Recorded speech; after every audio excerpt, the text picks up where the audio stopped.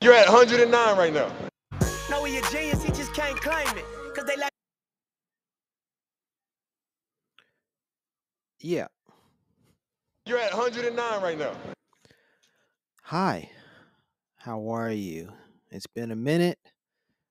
Um but now we're together again.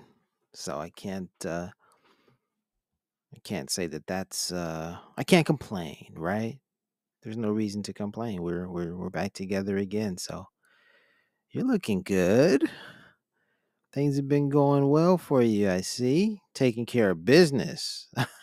ah, check you out. Doing your thing. Me? Well, I've been uh I've been busy. You dig? I've been busy with work. Um, I had to take a few days off, not because I'm sick, not be figuratively, I am kind of sick, you know. Uh, the what is it? The uh, the holiday is upon us, and I, I guess I was just too anxious. Um, because I took the days off and I'm like I, I was I was laying in bed and I was just like I just want to stay here and and I was kind of thinking about it saying to myself this is terrible behavior. Terrible absolutely terrible behavior. When in life does a grown ass man say no I'm just going to stay in the bed today like no that ain't it that's not it. I'm I'm just going to stay in the bed today I'm not going to go to work. No thank you. Not today.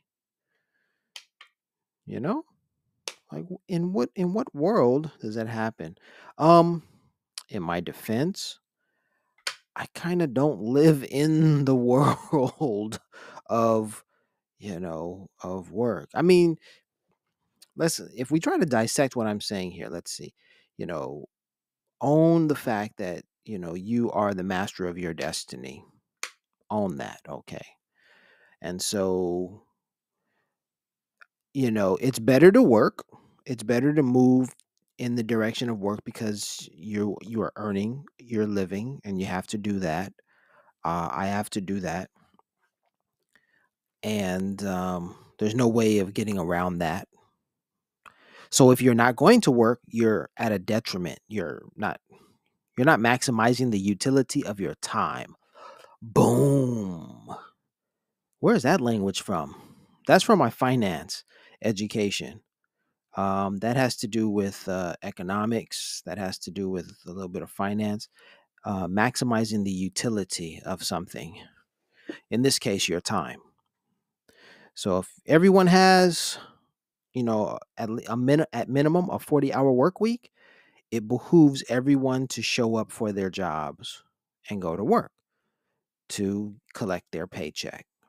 Because the companies that they that you work for, well, they're expecting you to be there for 40 hours to pay you that.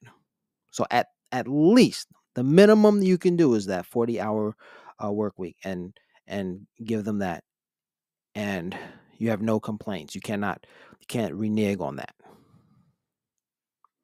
However, in my case,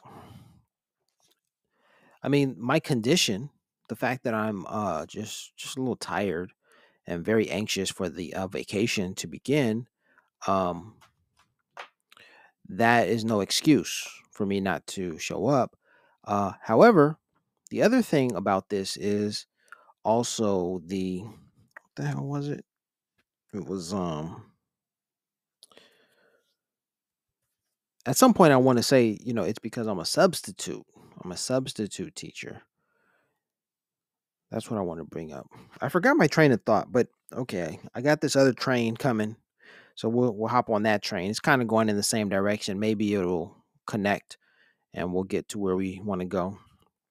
Um, but when I started being a substitute teacher, and congratulations to me. Let me let me turn on the applause, man. Congratulations to me.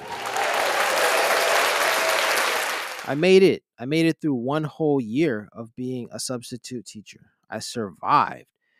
And a lot of people would not have done, would not have made it. So, I mean, this is a huge congratulations, a huge applause, pat on the back because, you know, folks are like, sadly, the school where I work doesn't have the best reputation. You know, it could be, it is a, you know, it could be very rough around the edges, could be a quite crude environment to work in. But I was built for this, you dig? Like, I, I come from this, I come from that. in in some I've had experiences that have already prepared me for this experience. So I'm not I'm not phased by it at all. That's why I made it for a year. And uh inshallah, God willing, I'll make it through another whole bunch of many more years and be like uh another one of the teachers there who celebrated 30 years plus, you know, working there. I'm just trying to protect my privacy and not mention the names, but I mean, you can you you can find that information out.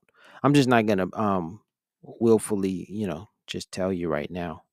So please respect my privacy, you know.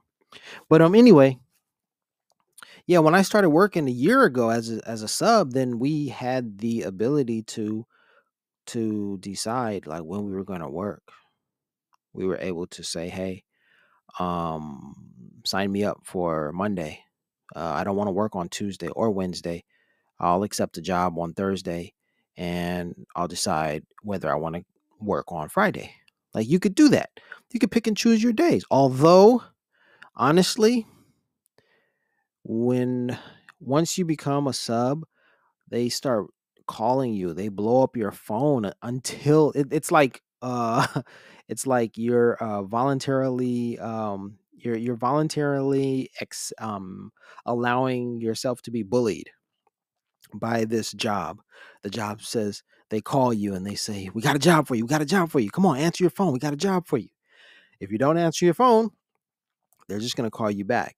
There's like a a window over which they they just keep calling you. We got a job for you. Got a job for you. Accept the job. Come on, you got to do the work. oh, it's annoying.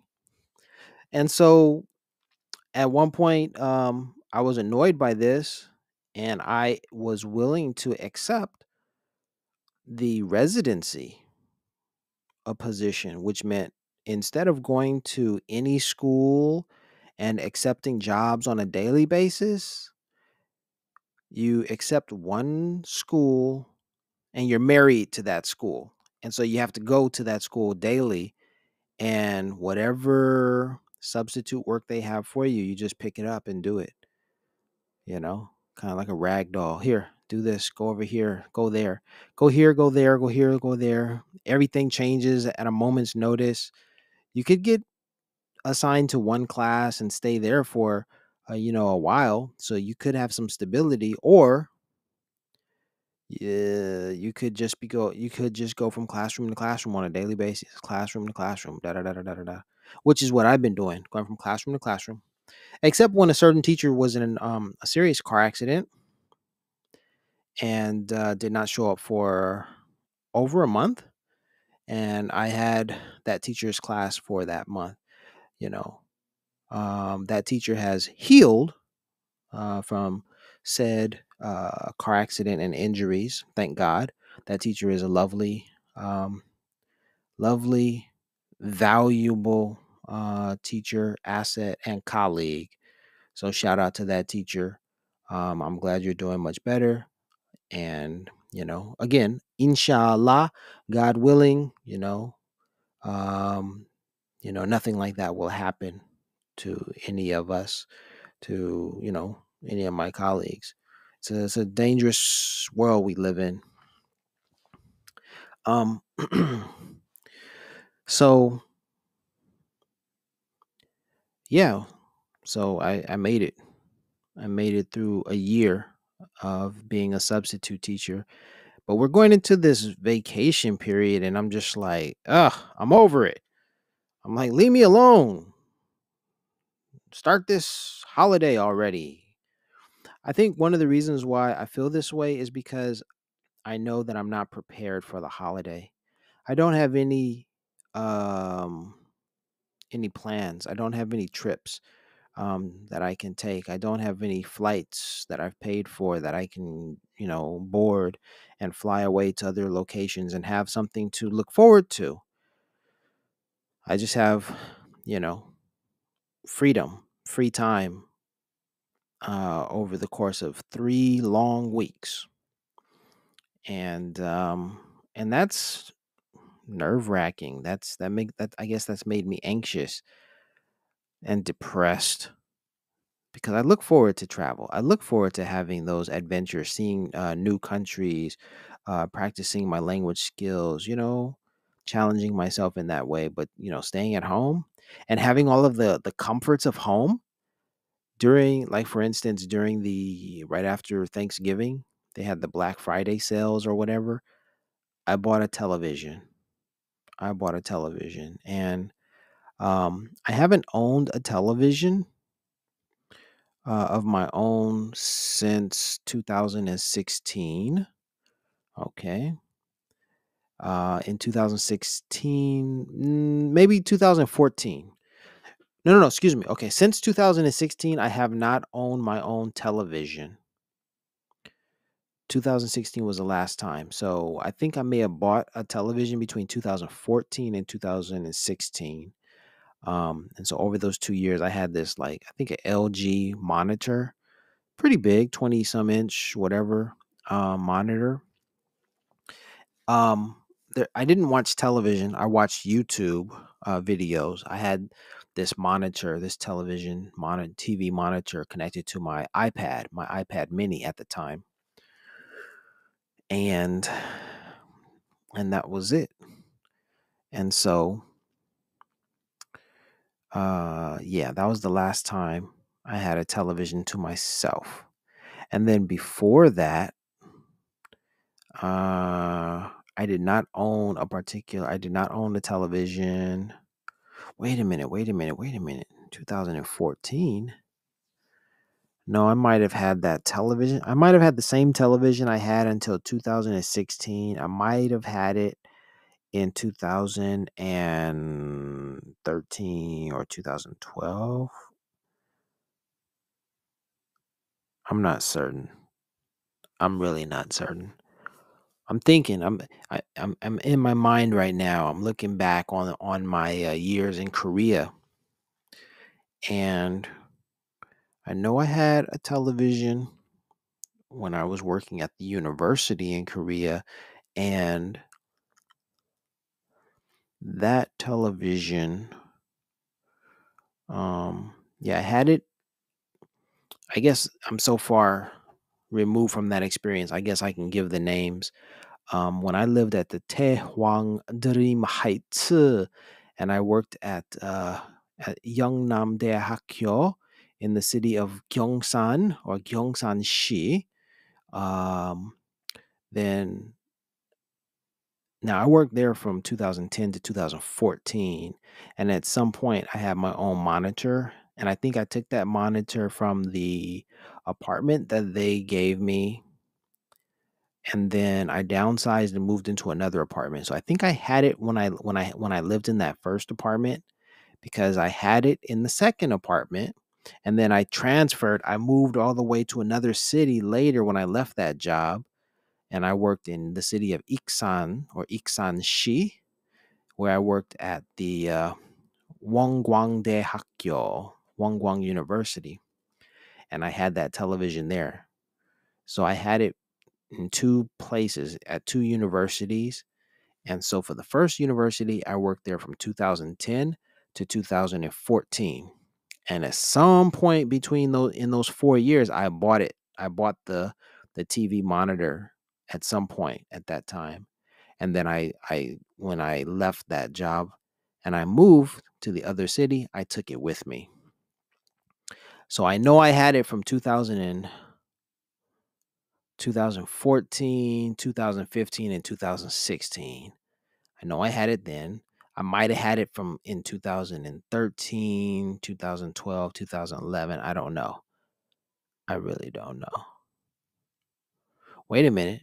No. There are some other memories that remind me. Like I remember having I was on a date and I brought my date back to my um, my apartment, and we were watching that television. We were watching a movie on that television in my apartment, and that must have been 2011 or 2012. So I might have had that same TV for four years. Wow. And then when I finally, in 2016, when I left Korea for good, I left that television behind, as well as many other belongings. I remember these details. I do. If I were to sit down and talk to a writer similar to, uh, what's his name? Alex Haley, the way that Malcolm X did, I could come away with a, with an autobiography, with a, a lengthy autobiography of stories and things just to tell. You know, I could do it. And um, these these uh, these memories are very vivid, very clear. That's an interesting part about life these days. When you're a photographer, when you have uh, you know when you have experiences and you record them on video or in photographs those memories are much clearer. You can recall those events you know? Maybe because you're not storing so much information you're not trying to recall every detail those pictures and images you know pop up and and and they help you so you don't need to uh, re- remember so many things. I'm just speaking extemporaneously but I, I think you you know that already if you're joining me here at the iSee 109 podcast. I'm your host larry wiggs. You're at 109 right now. i want to get into my favorite topic about 10 9 um, because i was just watching a video that i had made about my subject of 10 9 and as i was listening to myself you know as i was listening to my voice and listening to my recount of events i realized like hey i did a pretty good job of retelling these stories. And i was speaking extemporaneously impromptu. I didn't have a script in front of me and i was just i was just riffing just telling it like it is and um I was kind of in, in in interested in what I was saying. At some point, I did lose interest. I was like, uh, he he just keeps talking. I'm speaking about myself, right? but I was able to hold my attention for a while, and I thought that was cool. I listened to about 15 minutes of the 33 minutes uh, of audio, and um, I think maybe about eight minutes. I was uh, I was I was locked and loaded, locked in, and then I was distracted by various um, chess games and what have you, and so that's what happened. But um, it was good. You know, it wasn't it wasn't bizarre, it wasn't crazy, it wasn't weird. It was like, wow, the dude's just telling his story, and then and there you have it. So yeah, it gave me confidence. I'm like, wow, I didn't do so so poorly. I don't sound so crazy talking about this stuff. It's like chill. It's like I'm just telling my my my experience and I'm not trying to lead you to any conclusions. I'm just saying I'm just telling it like it is. And I don't think anybody can can can fault me or front on me and say, "Oh, that's whack." It's like, "Wow, that's actually pretty interesting, dude." So, yeah. So that's that. All right. the last episode of the iSee 109 podcast, I gave a recap of 23rd of 2023. But 2023 is not over and some interesting things just happened last last night. And that's what I want to um, tell you about here at the iSee 109 podcast. You're at 109 right now. Nip, tell them what it is. Know he a genius, he just can't claim it. Yeah. That's what it is. You dig? Um excuse me. Oh, by the way, today I went to the museum and I was listening to people talk about their lives and their experiences as part of an exhibit, as part of a video um, exhibit. And I was like, wow, that's pretty cool. You know, the experience was just so similar. I wrote some notes about that. I wrote some notes about that, and I could actually read those notes now, but that will take away from, you know, the momentum that I have going into this other topic. So, um, hopefully, I will remember to come back to that topic. I hope that I will remember so I could just go ahead and um, you know, and keep the uh keep the momentum going. All right. So here we go. Um last night I had the opportunity of uh having my my book signed by the sisters of my favorite artist Jean-Michel Basquiat. And in in that moment I was able to talk directly to the sisters um, before or while they were uh, signing my uh, book. uh, they they signed it. You know, it's a generic sign, a, a generic signature. Thank you for your support or what have you. I think you know they might have. They they probably wrote that to everyone. Um, they definitely wrote it. Wrote my name. Hey, I'm I'm kind of. Wait a minute. Eh, Larry, Larry, and they and I asked them to write 109, Larry 109. I wonder if Jeanine heard my name as Harry because it really looks like she wrote Harry. Oh Lord. I should have told her my name was Alfredo. So there will be no confusion about what my actual name is. So I think Jeanine wrote Harry, and I think Lisane wrote Larry. Lisane was like, no, he said Larry. Jeanine wrote Harry. I love those two, man. Dude, Lisane and Jeanine are awesome. And just man, I've been watching so many videos um of them, and I'm like, I'm I'm like, cool. They're very cool. But then to talk with them, or rather to have their undivided attention, man, it was like, oh, that's cool. Yo, so I had a I had a moment with them. I mean, like, you know what? It was such a cool um interaction. It was it was really dope. Like they they laughed, they chuckled because I told them that my book had already been signed by Jean-Michel Basquiat's niece, Sophia. And so um when I showed them, I pointed it out. I was like, um, hey, I already got Sophia's um signature you know, in my book. And they were like, What? So they looked and they were they were like, Look, Sophia. They just, you know, kind of geeked out, like, oh, Sophia signed his book. Oh, that's so cute. I was like, Yeah.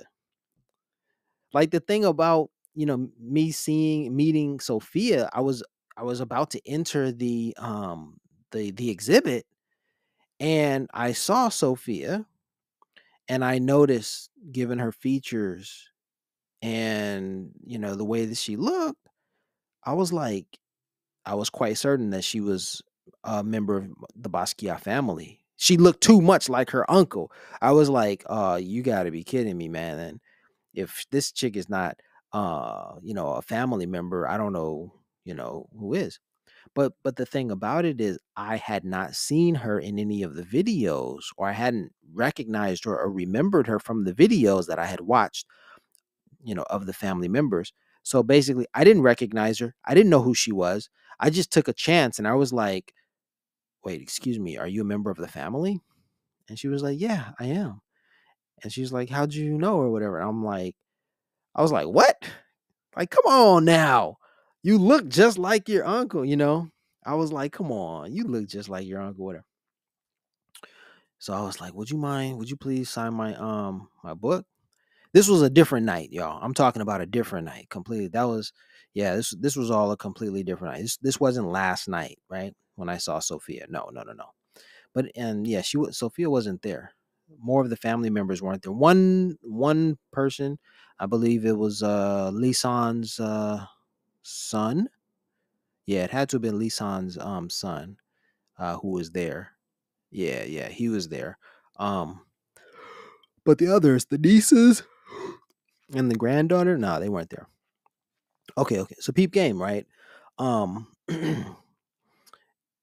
yeah, so I was like, yeah, Sophia looks like um looks like her uncle. Um I was like, I'm not gonna walk in. I was like, you know what? I had already seen the exhibit. So I really wasn't excited to like go in there and, and see the work again. I was more so uh interested in connecting, you know, with the family.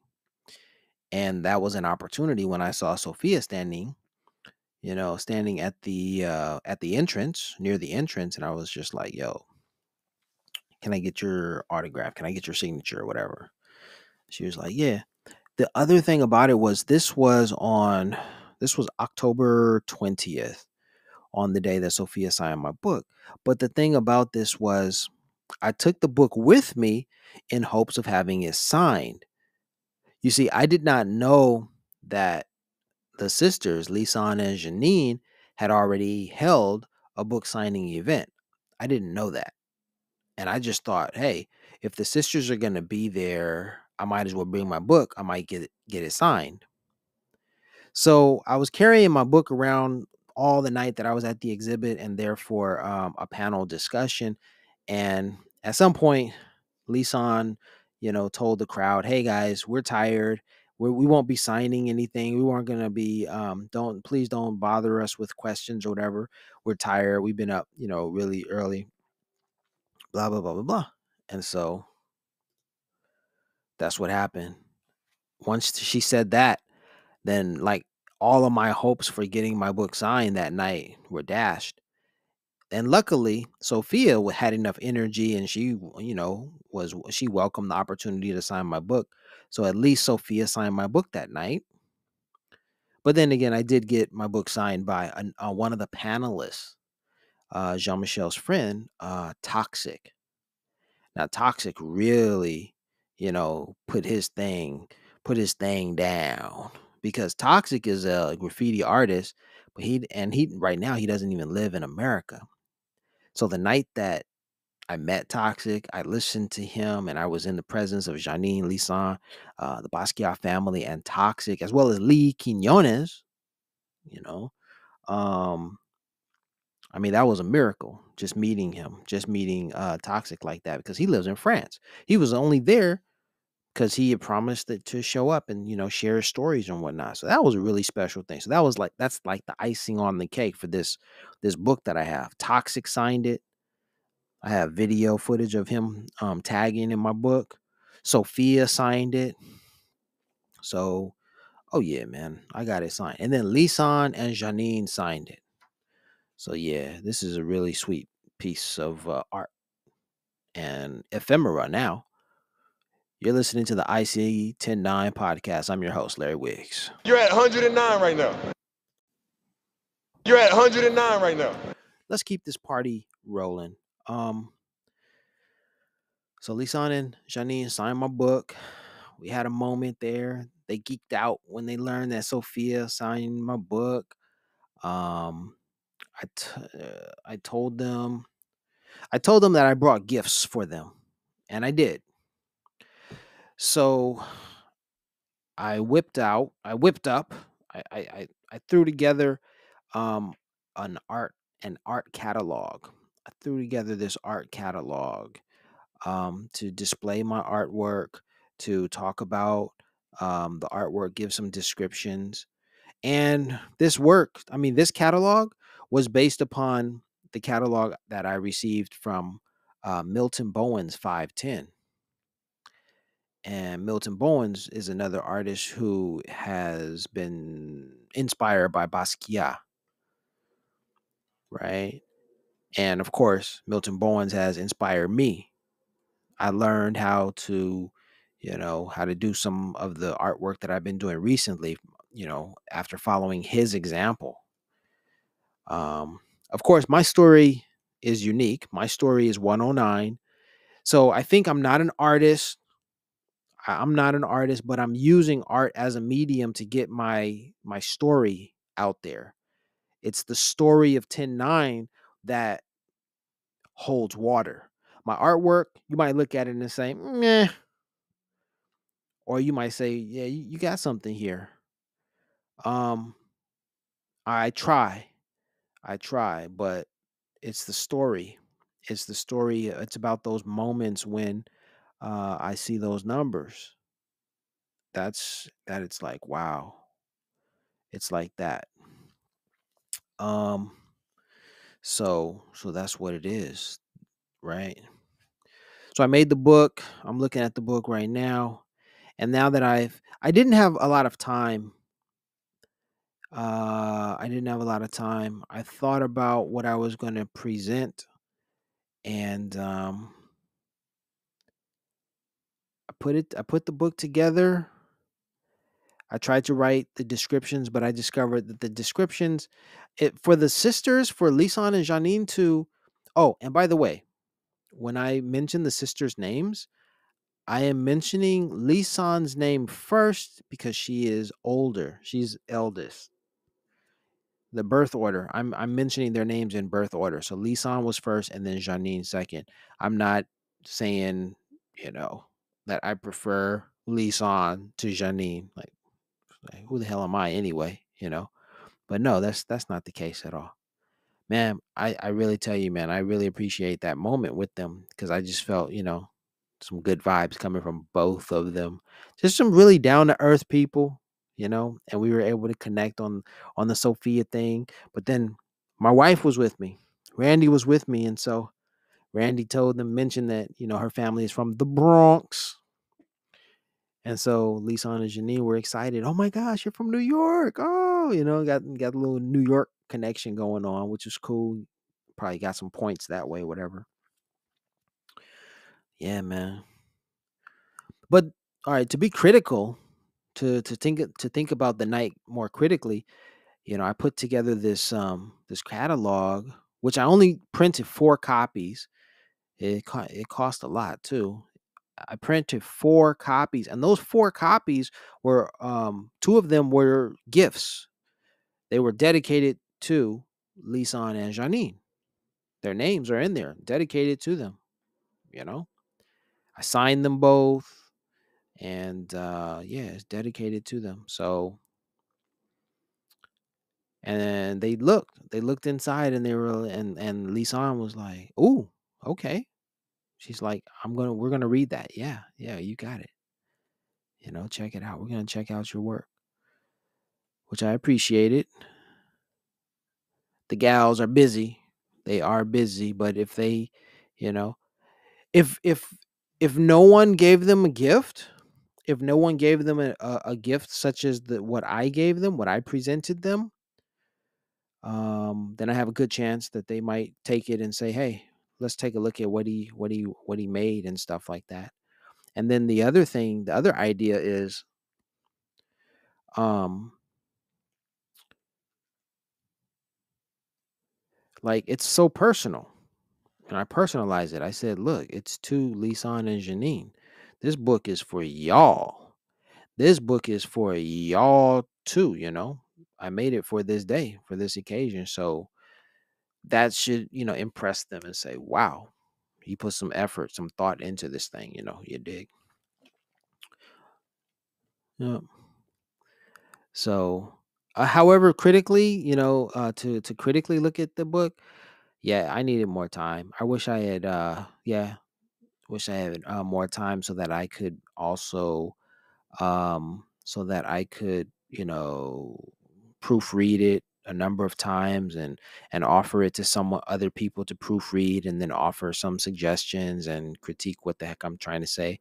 Because yeah there are a couple of uh, sentences that are like wait let me read that again. What what is he saying?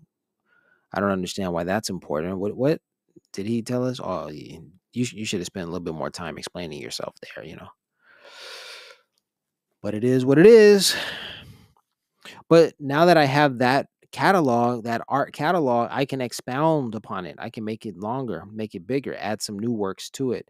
Uh, I can um, proofread it. I've got more time because it's not. and then I don't have to personalize it to uh, Lisane and Jeanine for future uh, copies, future reference.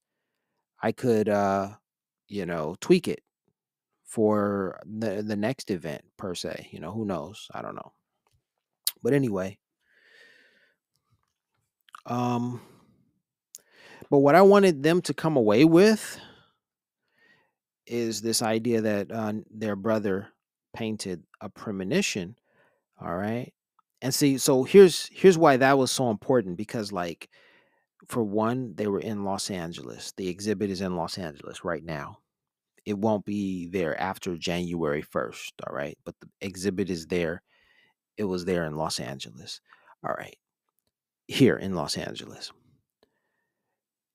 And Los Angeles is where Jean Michel came. Jean Michel painted a lot of his artwork in Los Angeles. Peep game. I visited the studio in Venice where Basquiat lived.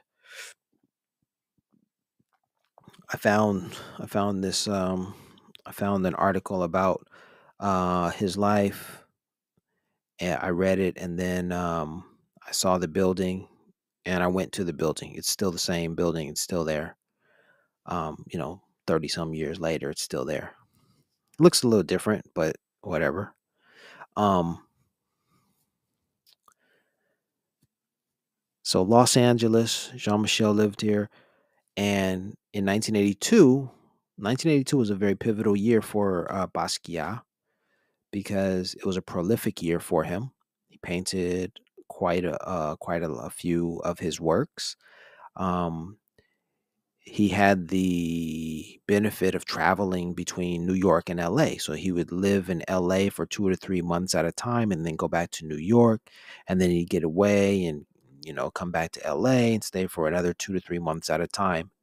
This was made possible uh, because of his partnership with Larry Gagosian, the art dealer.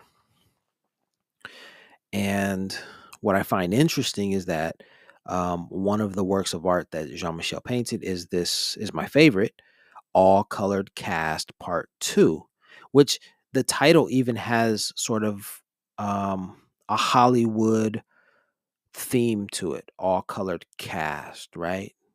Is he talking about a movie, Hollywood? It would seem it would seem that way. Uh, I I would presume that I I would you know I would guess that. Um. So anyway, those are the connections uh to this work of art. Jean Michel possibly painted it in Los Angeles. Jean Michel lived in Los Angeles, and you know, yeah, and and it was a prolific year for him as far as uh painting goes. Now the other thing is the subject of the painting that that you know the idea that I'm bringing to the table is that he painted Nipsey Hussle, who was born in Los Angeles, who lived in Los Angeles and became famous in Los Angeles.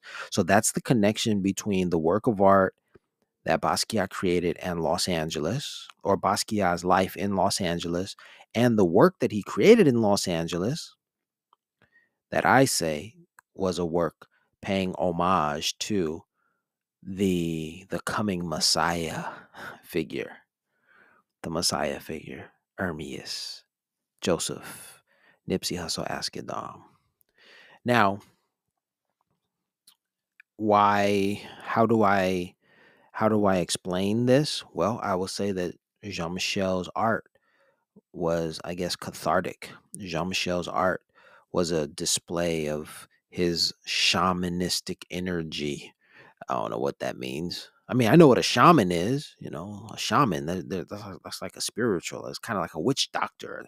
Shaman, you know, sees things that other people don't see. The shaman, you know, is dealing with other realms of reality, of of of life, and so forth and so on. The shaman, okay.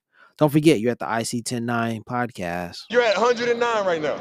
Speaking of other worlds, you know, that's our legend who will never die, Kobe Bryant, reminding us, you know, where you are. You're at 109 right now. Yeah. Shaman, shaman energy. Okay. So,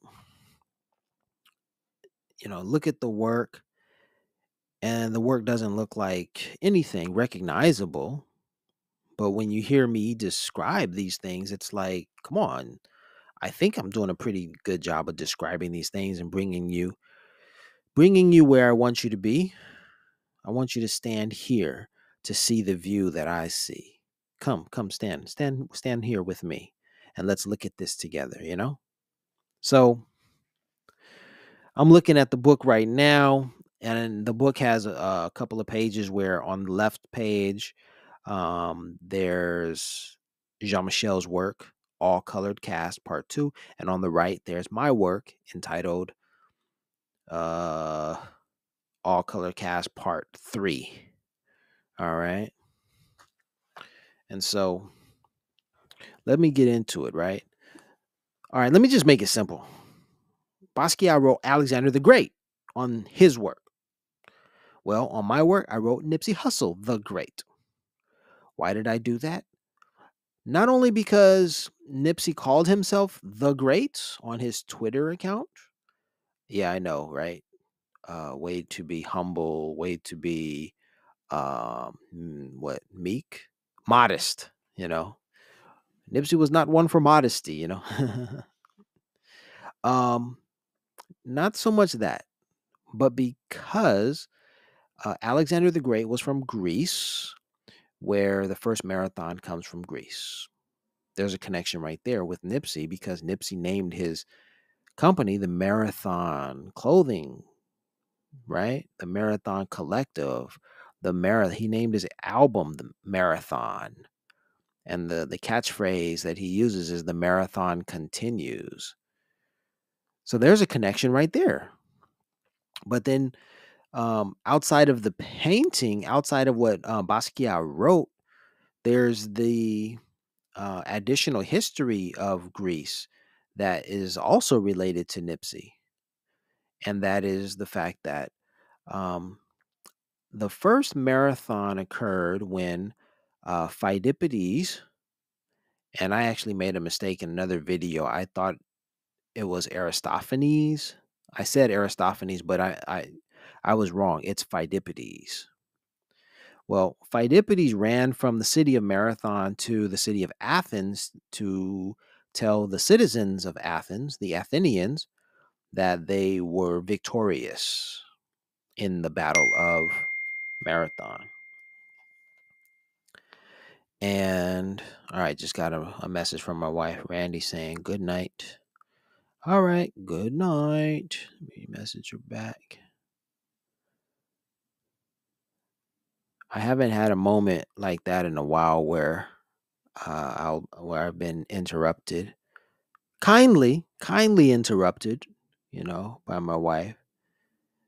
It's always been something that we talked about. You know, Randy will say, "Did you?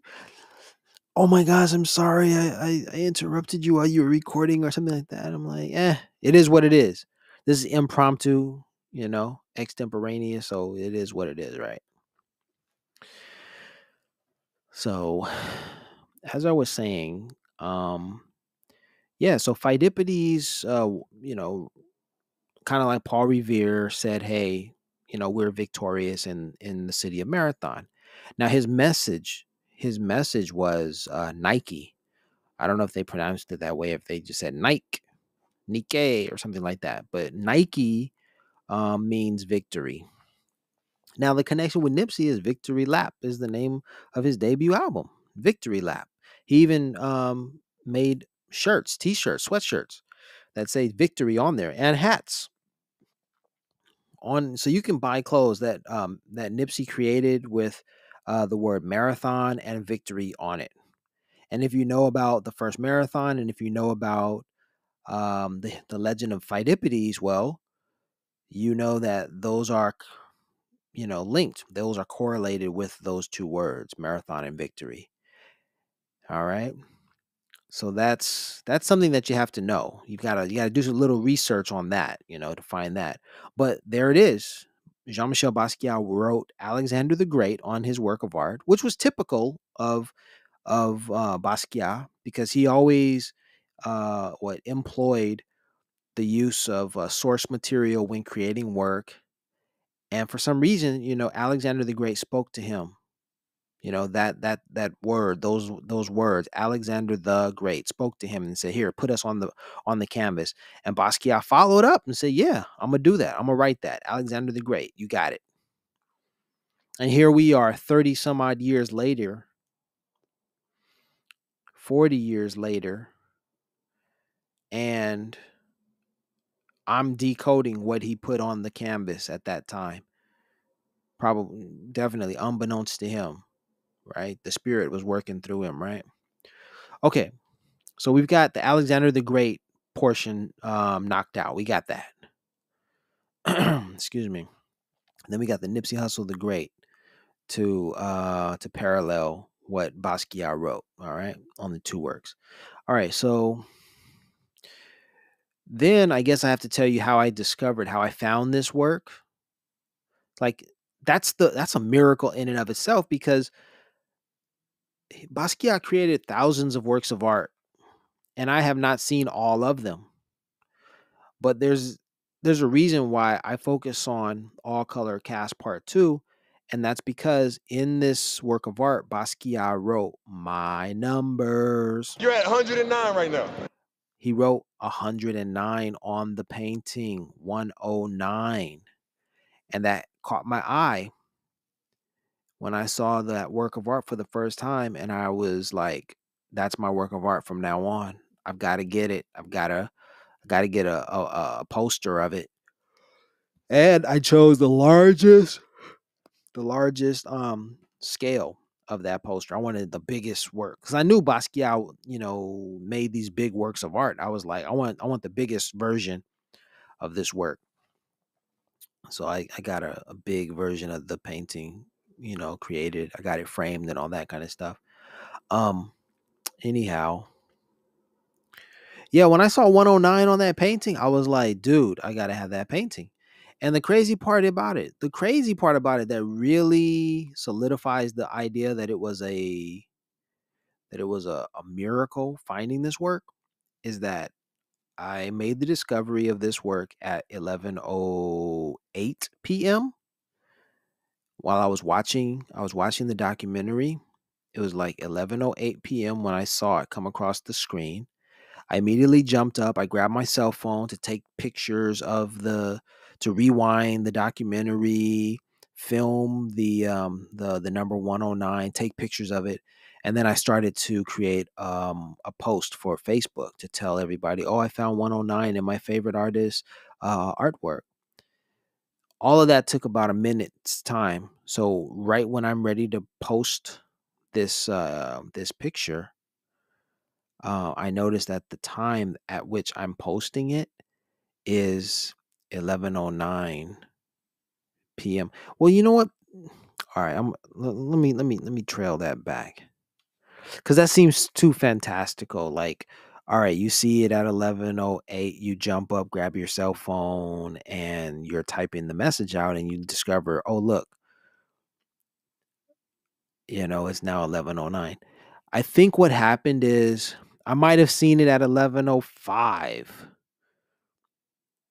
because I had to jump up, grab my cell phone, rewind the video, find the the spot when you know uh, where they show it and i also had to type out a little message. I had to type out a decent message for um facebook because when i type it out on facebook then like i share it with the world and it's true then. When you share it on facebook it's real then people know that you're not playing you're not making stuff up they see it too you know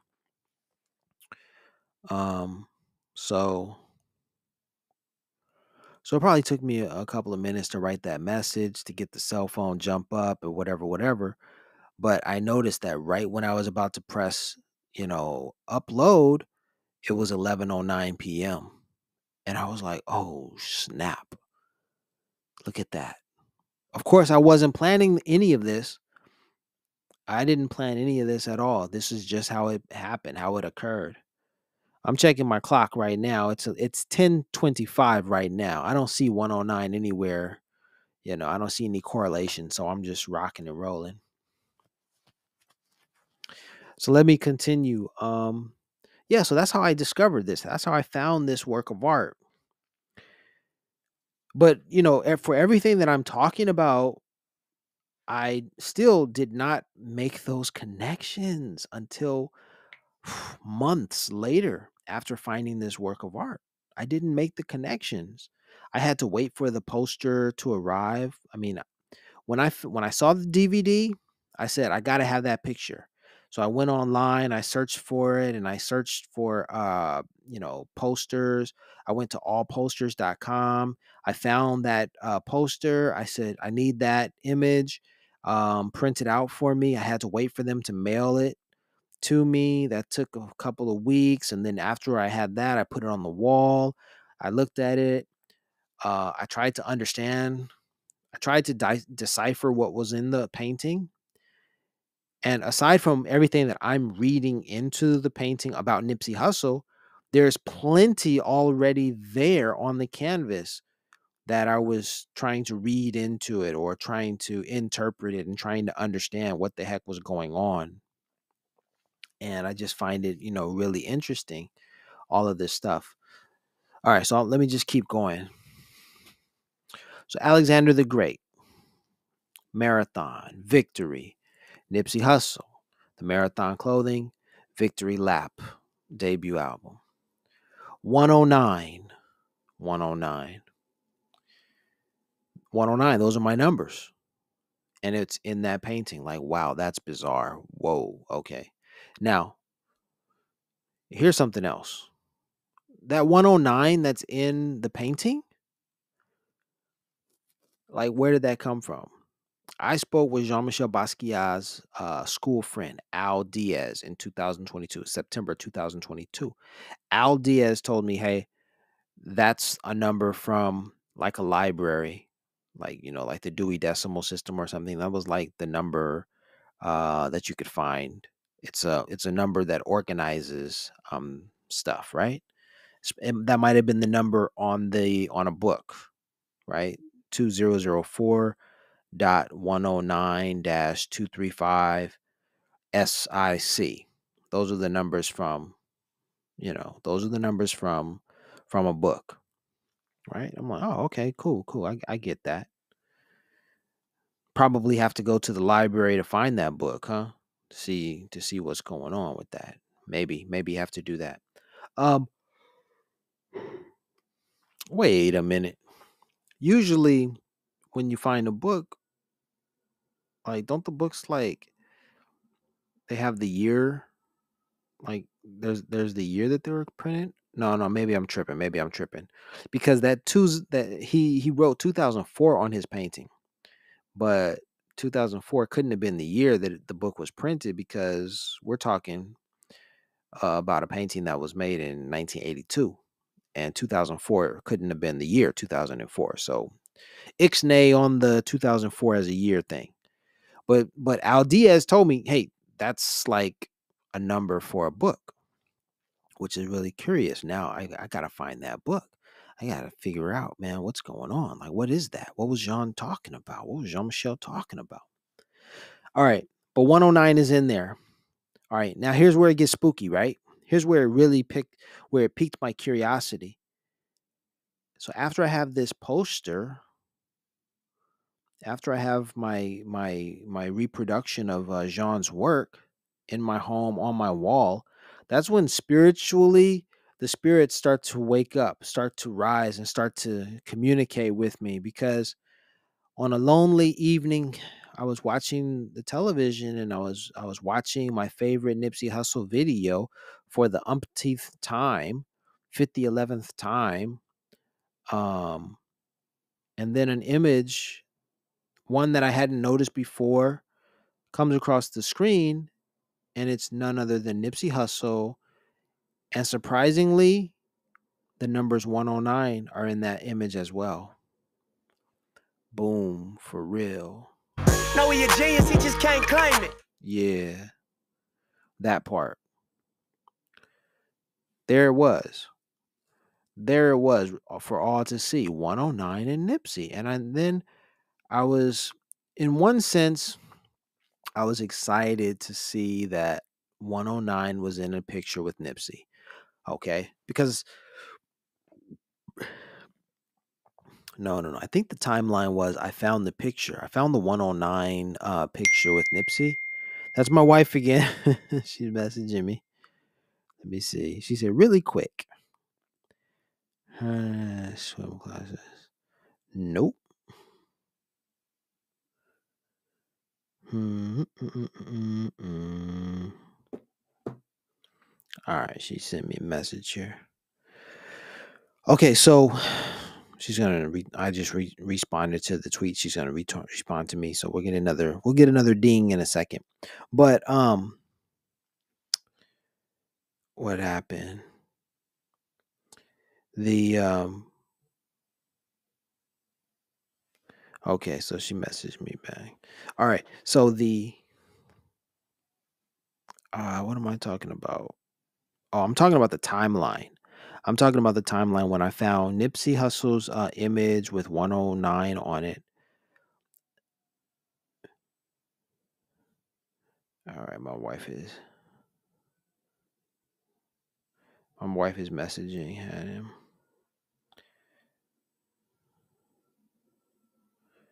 All right, all right, all right. Um, so yeah, I'm talking about the timeline. So at, at some point, I found the video 109 and Nipsey in it.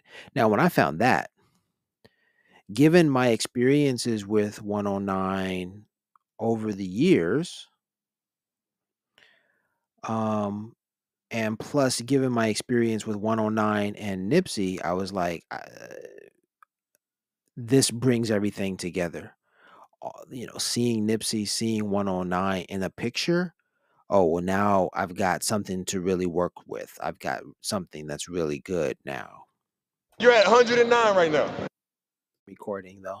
I don't know if I'm going to be in the same uh mind frame if I'm going to have the if this stuff is coming to Mm, me because I'm you you caught me at a moment where I'm like, oh, let me let me get on this topic. So hmm as I was saying, and for those of you who are joining the podcast right now, we were talking a minute ago, and you're joining the conversation because Randy called me.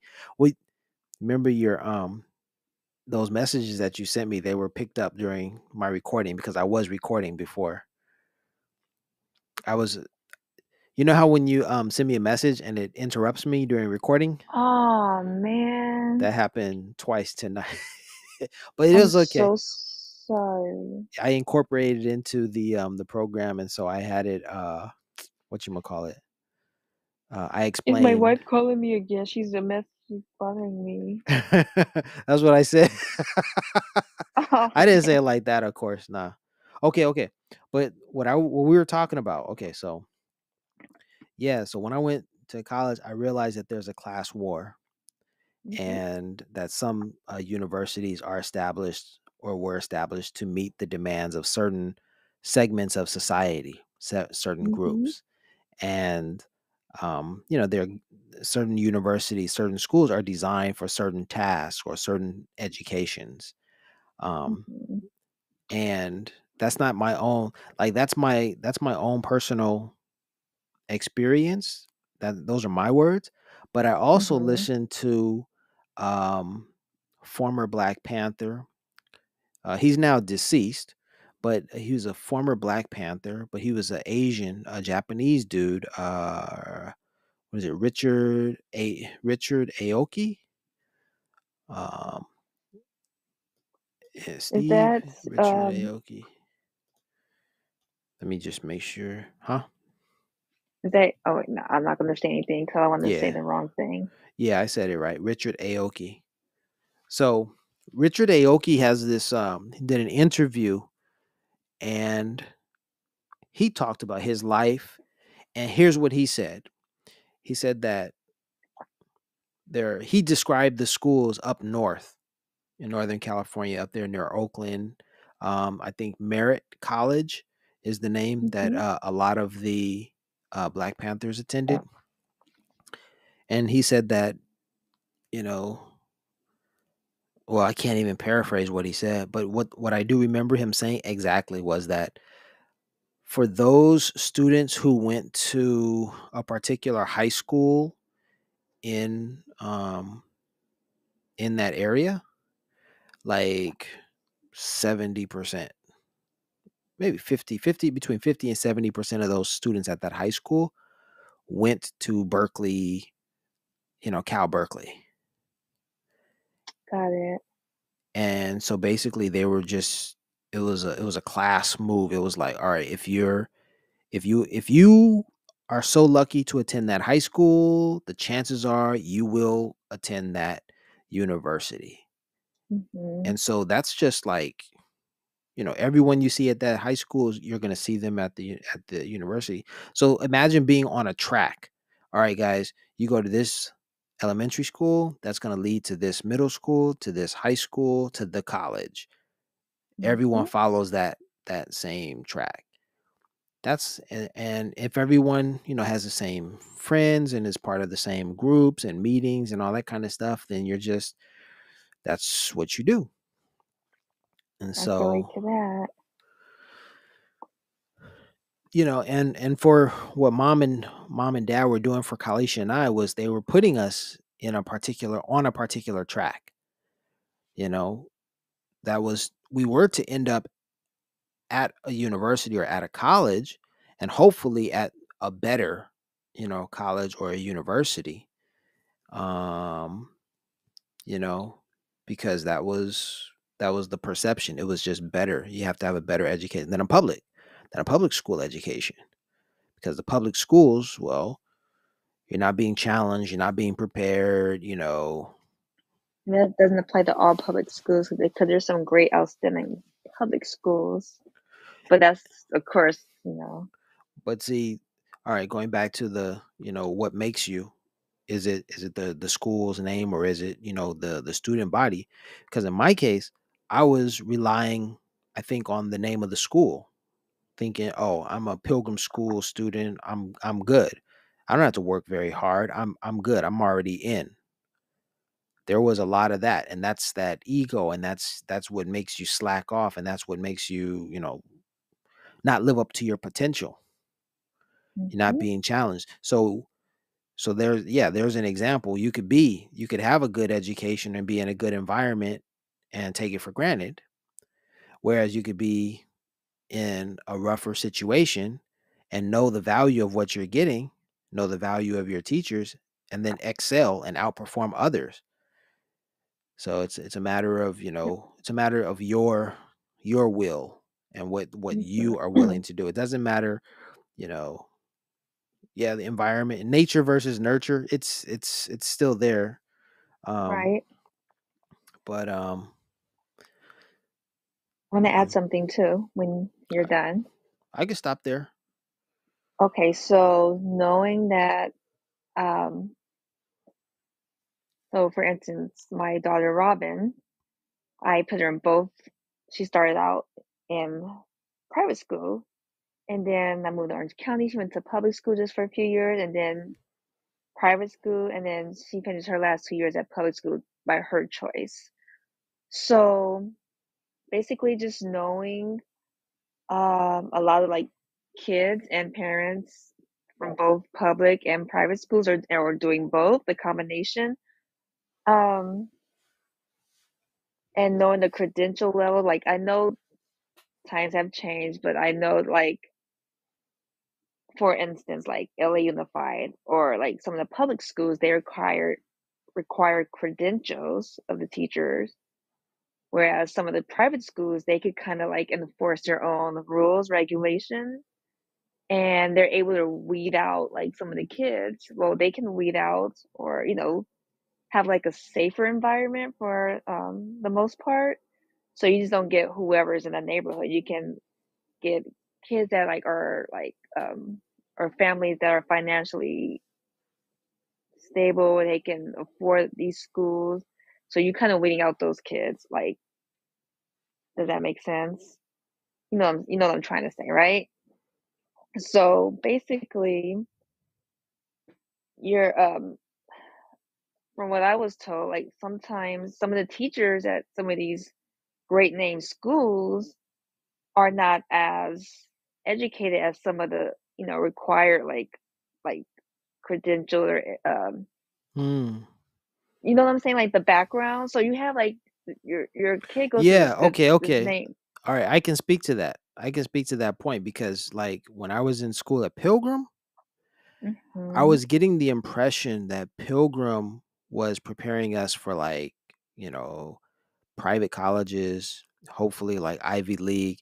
And I was of this, uh, of the idea that, oh, if you went to a Cal State, you You're somehow lesser than, yeah you you somehow didn't live up to the expectations that that which is not pilgrim was was getting you preparing preparing you for and i felt like wow i'm really at the bottom of the barrel.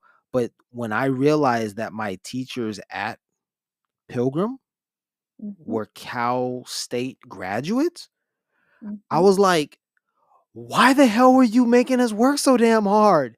You guys were cal state you know but the you know the this uh, education in schools are businesses. So what they were doing the business like pilgrim what they what they were doing is basically finding cheap people or cheap not people but cheap uh hmm employees. Like hey we need someone to do the job. Make it look pretty make them look like make them seem like we're we're aiming them for the for the top. It's like what is it we don't you know you know i mean like yeah if you're if you're in, if you're running a business you're not gonna you don't want to pay the you don't you don't want to spend all your money on your on your on the human resources. You want to mm-hmm. undercut. You want to keep your costs low so you're like hey if that guy who isn't qualified can do the same job as the guy who's qualified why do i have to pay the guy who's qualified what he's worth when i could pay far less to this guy who can still do you know do the job right, exactly. So it that's a whole nother like this conversation can go into it can go into like another conversation to another conversation and it could just branch off. But um right. And so for instance, like my family, have a lot of crossroad crossroads member the school in Santa Monica. Um so a lot of my family members they went to crossroads. And um what am I trying to say? I was told that from my younger cousins that yeah they didn't even teach them um how to um tell time like basic things that were taught to us. Well for your short time in the public school. But see that's where the conversation it gets kind of like like it, it all depends on the school the teacher. Um so it, it, it there's so many factors to take into consideration but you know, like some of those like independent schools, like they want a more like I'm not I'm not speaking to all the schools because they all have like different criterias, but a lot of them like they want you to have a, like a more freer like learning environment where you can call the teacher by their first name instead like Miss. Well, I don't know how it was at Pilgrim, but I know I I I n- I don't even feel comfortable calling people who are you know authority figures you know by their first name. Even when I was working in Korea and I had colleagues, they were like, "Just call me by my first name." I'm like, "Ugh, it's what?" awkward, right? Very. I it- when I studied martial arts, it was always sir. Right. And the first time I called um, Mr. Alan Kaplan, um, sir, when I was uh, at Hamilton High School, he was like, "Whoa, I like that," and that distinguished me from you know so many other students. And he was like, "Whoa, that's good." But see, uh, the thing about Mr. Kaplan was, I don't think uh, Kaplan was doing whatever the hell he thought was the right thing to do, but he wasn't prepared. He did have, you know, uh, ideals about his students. And although he said that he was trying to help his black students by trying to be like, hey, wake up, you got to work hard, you got to get out there because they're taking it away from you. And although that was a good message, he wasn't prepared for a young black kid like myself who, you know, was getting a good education from Pilgrim. I and at Hamilton, I was prepared for what what Hamilton was was was giving me. So it wasn't like he had to give me that speech. It wasn't like he had to say, "You got to work hard." I was like, "Bro, I'm already doing that. I'm already there. Like I need you to Mhm. guide me, bro. Tell me tell me what to do, what not to do, man." And he was just like, "Well, I don't know. I got to talk to all these other these other folks who need my help. you got to wake up. You got, you know, because I read a paper that I wrote for Kaplan and I was like, "Damn. This is a pretty damn good um paper for um for high school." And I remember him Mhm. asking me, he was like, "Are you sure you want to you want to title your paper that?" Because my the title on my paper was um what is it? Life, liberty, and freedom. Uh, no more. Like it was like death, slavery, and life, liberty, and freedom. Uh, liberty and freedom are the same, something, but it was like death, slavery, and something forevermore. So we were trying to argue something about um, the effects of maybe uh, of Reconstruction, the Civil War, and I was like, I was like, we're still not free. There is no freedom, and it was a very miserable, um, you know, outlook. And he was like, "Are you sure you want to name your your your your paper that?" And I was like, "Yeah, that's what I see. That's that's what I uh, that's what I think of, you know." But anyway, um, but he wasn't prepared you know, for us, for me. And I came to him and I was like, guide me. And he was just like, well, he did tell me, he was like, come back. He was like, you know, come back uh, to visit me. Yeah, But I never did. Oh, and then He passed he he away passed in like away. 2015, 16, 15, I think. Oh, there you didn't go and visit him. Yeah. And then it was also, yeah, things get complicated because you like, I wanted to come back and, you know, s- stick my chest out and be like, yeah, I, I went to a UC, I went to, you know, a good school. And I'm just like, yeah, my And you grades, did go to a good school, yeah, but my grades weren't weren't really good. And I was just like, like, I'm, I was just, I felt like I was just floundering. Like, ah, man, I'm but not we doing well. already, the world may not know your story, but we already know that you basically went and decided to choose a major that was totally opposite of what you like are We're prepared Like, for, yeah. right, that's what I'm trying to say. And so you did it. It was a challenge and you conquered it. It doesn't matter how long it took. It doesn't matter, you know, you know, well, your grades, yeah, it was challenging, but you did it. And so that's an accomplishment within itself. Yep. But I want to go back to when you said um, he wasn't prepared for you. Are you saying because you came from this great school called Pilgrim that prepared you and you're already doing great things there? And then when you uh, attended Hamilton and had this class, like you're already like at a certain level. Is that what you're trying to say? No. Mm-mm. Oh, okay. I'm just saying that um he all right, I guess I guess Kaplan had preconceived notions. Well, okay. So Kaplan worked with say, hmm? hmm Was that? I was gonna bring up something. Are you, are you gonna bring up race, or this has you don't? It's not important for this conversation. Kaplan was all about race. Well, Kaplan he's Kaplan talked about race. I mean, he was a Jewish but he's not a black man. Exactly. So there's so I was just I just wanted to point that out for people that were listening. I, I wasn't sure if that had anything to do with what you're about to say. Gotcha. Yeah, so Kaplan um was was uh, a Jewish man and his heart was in the right place um, because his message was um, you know, look at the writing on the wall. If you're black, you know, society is working against you. hmm Um, and so you need to you need to be prepared for, you know, what's coming. But the message was for everyone, everyone really, because uh, of course. the idea that you know a college degree is is sufficient, you know, really isn't when you have to get a master's, you have to get a PhD, you have to do all this other type of stuff. Um, but um, but Kaplan. So the what I what I meant was, I think Kaplan had some preconceived ideas because he worked with all of the students, the different schools at Hamilton, and so at the original school, there were students who just didn't care. They were maybe members members of gangs. They would show up, just had to show they weren't attending classes. Like he saw the real the real effects of of our society, I suppose. Can I interrupt you? I know what the Mhm. original school is, but for those that are listening, you're talking about the original or the regular side versus the magnet side, correct?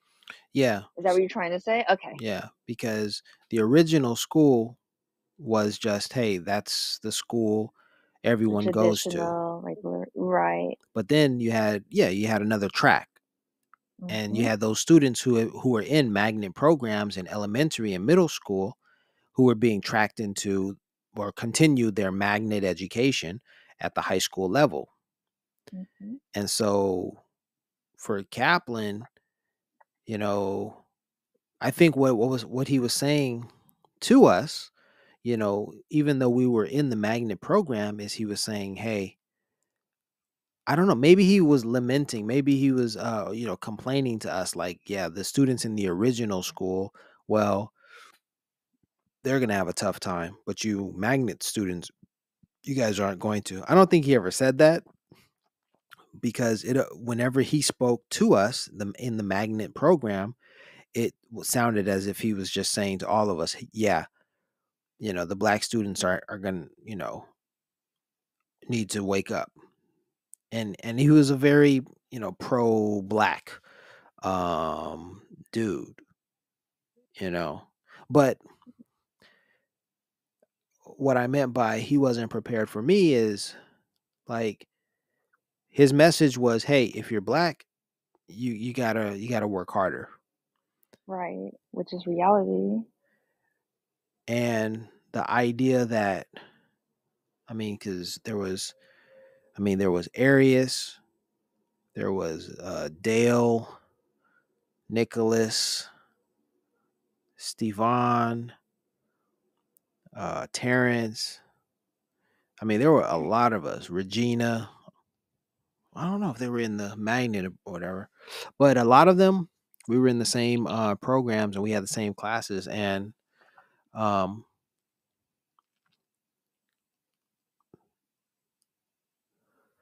I just think that like those, I don't think he had to worry about what he was talking about with us. We didn't have hmm we we weren't we weren't going to be the ones in that in that boat in that position where it was going to be really dicey.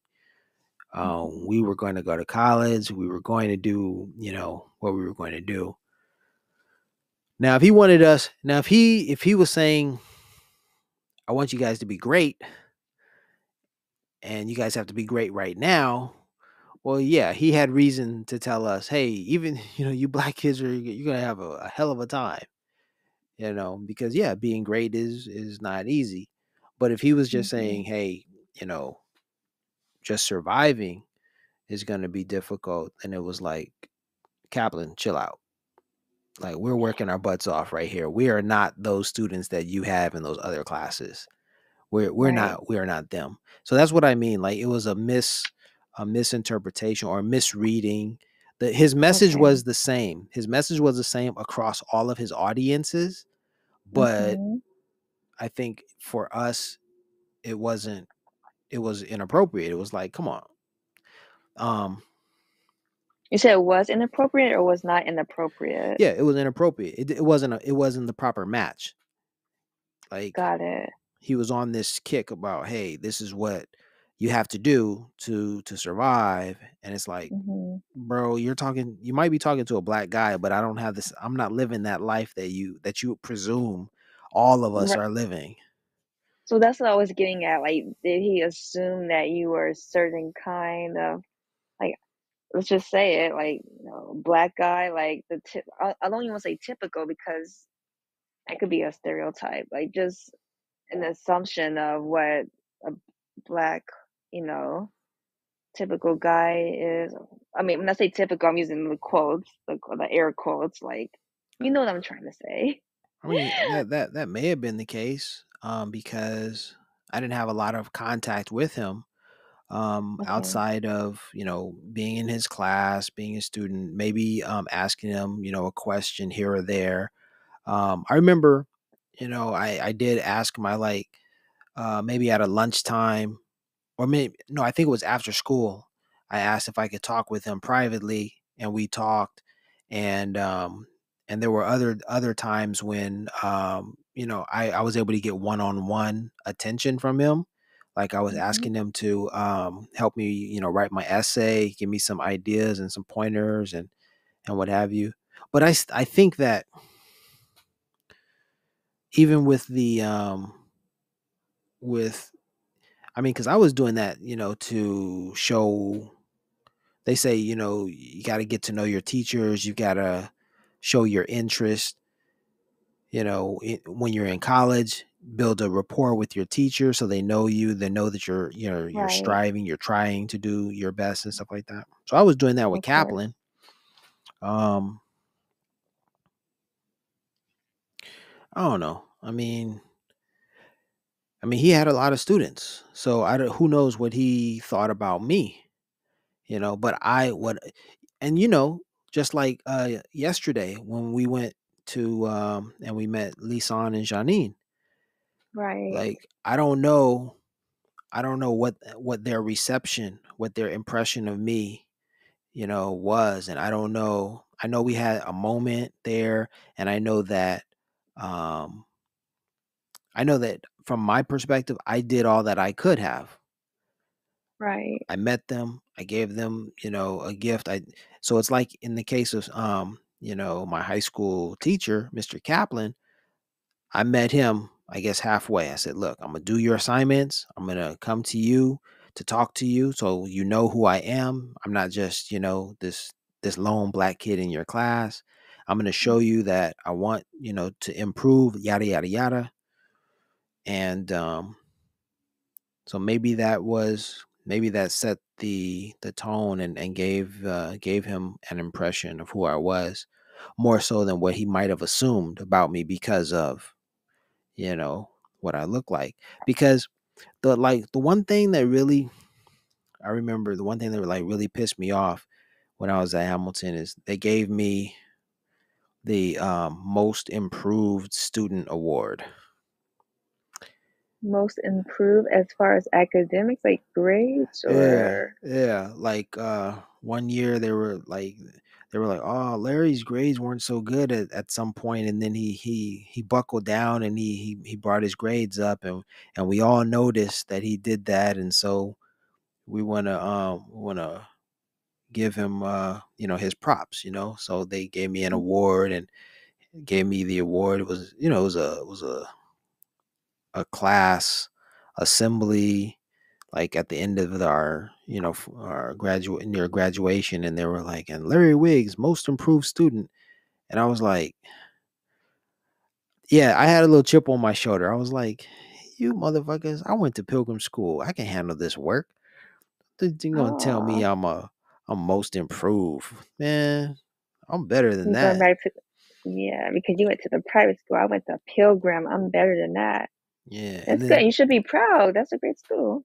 kaplan gave me a hug and uh but i think at that same assembly like uh smolin Smolin um, saw me with uh, mom and dad, and he was just like, "Mm, "Don't know that guy. Don't know them." We were walking in the door, and I thought, "Oh, Smolin's gonna stop and let my family go and be like, oh, you nice folks, go right ahead." Smolin just kept going inside the door and not even acknowledging mom or dad, just like, "Ugh, "I'm not talking to them." I was like, No way. "Yeah." Was like, I was like, "Man, I thought that dude was cool. He's an asshole." My teacher, that was my color. yeah, that was my um uh English teacher and he got he's the one who got caught for like a sexual case or whatever with the student like a few years ago. Ooh. But that's not good. No bueno. I was going to say something really quick, but just going back to like the most improved like award, like I always have to remind like my um the clients that I work with, like I work with a lot of teenage students that are like sometimes their grades are failing or not doing, you know, are not the best. Is not representative of your knowledge because we all know that well for those who know you you're very knowledgeable you know you're well traveled you read a, you read a lot of books you do a lot of like like research as far as like looking up things on the internet youtube. So you, you're very knowledgeable and then i don't know when you receive that reward award excuse me i said reward award um was it like your first year? Because sometimes your first year entering um, high school you're trying to adjust and you know especially coming from the private school going back into the public school system. So maybe that's you know just needing needing that time to adjust. Hold when did you uh, okay. Nah, that was um no, that was like junior or senior year. So it was yeah junioritis senioritis something. Yeah, it was uh it was late. It- that was not a, a freshman year thing. That was when we were graduating so or close to it near graduation.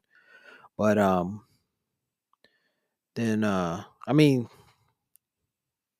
but I already know you had the tv situation like the interruptions like oh we gotta go larry like this is inside conversation that we oh have yeah. about yeah so you know sometimes like maybe we're not getting the studying that you wanted to get accomplished you know you had a lot of like distractions Yeah. And when I I mean even when I was in high school and when I noticed that, you know, uh our Nigerian counterparts, the Ogbunamere family, was at the library after school.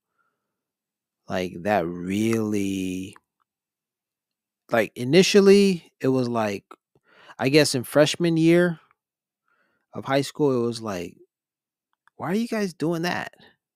But then by senior year, it was like, oh snap, you guys are going to these excellent universities. You guys aren't playing around. Wow, you guys have been doing this all that time. Yeah, I started going to the library. I started spending a Mhm. little bit more time in the library. But then the problem with going to the library for me, like with their family, I believe um, you know, they had an older sibling and there were like at least four. There were at least four um four siblings. So they could all, you know, jump in the car together. The oldest would drive them to the, the library, I think. But in our case, you know, it was just Kalisha and I. So we were like if I wanted to go to the library, I have to drive myself. So we're talking I had to pay for my own gas. You know, if I got hungry, then I'd have to, you know, figure that situation out in addition to just studying there.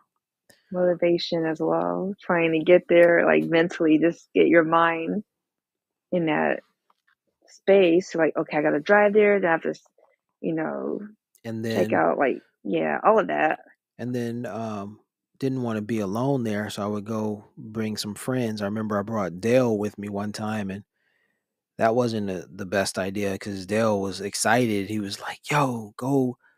Like I don't know if he's if he told me to go fast, and I was driving down the street to get. We were just one block away from the um, Inglewood Library, and I was driving fast, and I didn't notice that there um, that there were some bumps in the road, and no I'm driving this this uh, jalopy, and we hit, and we we go up, and then we come down, and we come down really hard, and then the car dies on me as soon as it hits. It's boom, zzz, and I'm like, "Fuck, man, what am I gonna do now?" So we had to, I had to call AAA, and that was on the way to the library. So our trip to the library was canceled because I had to call, you know, someone to jump my car or you know to tow us.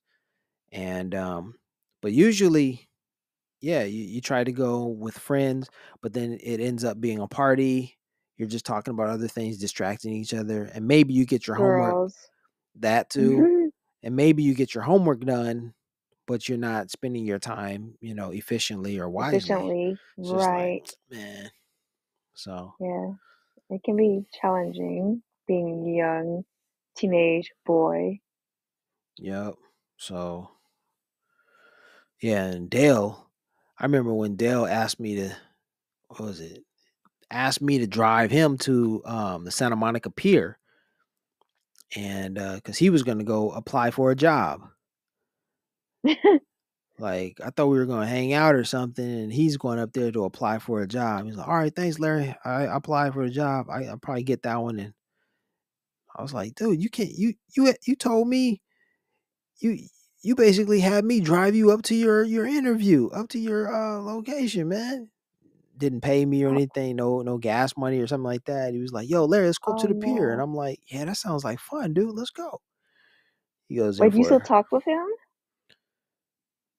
no. I saw Dale uh, around COVID. I saw him at the Grove. He was there with with his dad. Like you, you know, you hear things from. uh I either saw him on um on Facebook or I saw him on um Instagram. You know, I mean, it's all good, but it was just like tho- those things that happen. You know, those things that happen. But I was too, I was too kind with um, you know, with with my. I was too generous with my car because I had a car and no one else did, and it was like Right. I know that feeling.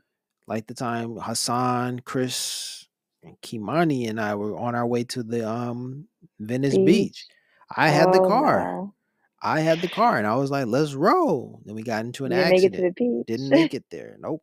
At the You didn't make it to the library or the beach. Yeah. At the infamous intersection of uh Walgrove and Venice. Yeah. Wow. That that accident. Yeah. So, so yeah, education, private and um, public, can lead to many different endings or different things, as we are talking about right now. Yep. So before that, I was talking about um I was like re excuse me, I was recounting, retelling, reviewing uh last night's meeting with Lisane and uh Jeanine.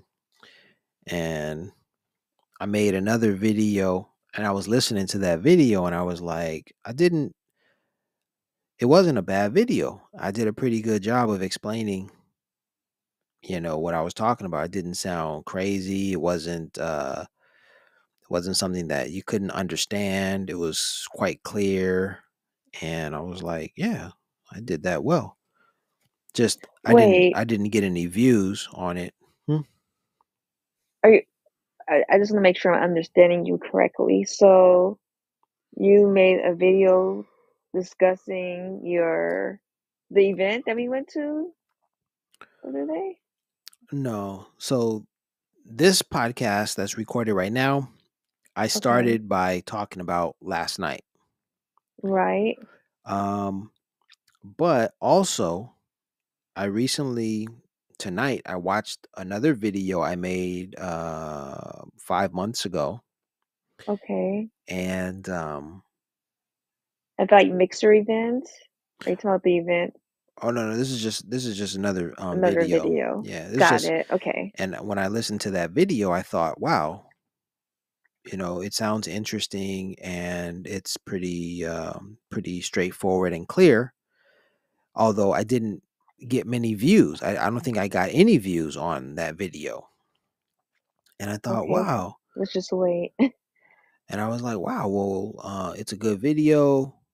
I mean, there are reasons why videos don't get picked up. It's because, you know, the the, the way that you advertise them, uh, the wording, the words that you use to describe them and your title, you know, all of these things can attract people to the video. So Right. maybe I didn't have those, I didn't check those off the um off the uh, uh, marketing plan. I didn't do a good job of that. But for the video itself, you know, I can't beat myself up for not, you know, executing a good video because it was it was pretty good. It was pretty good.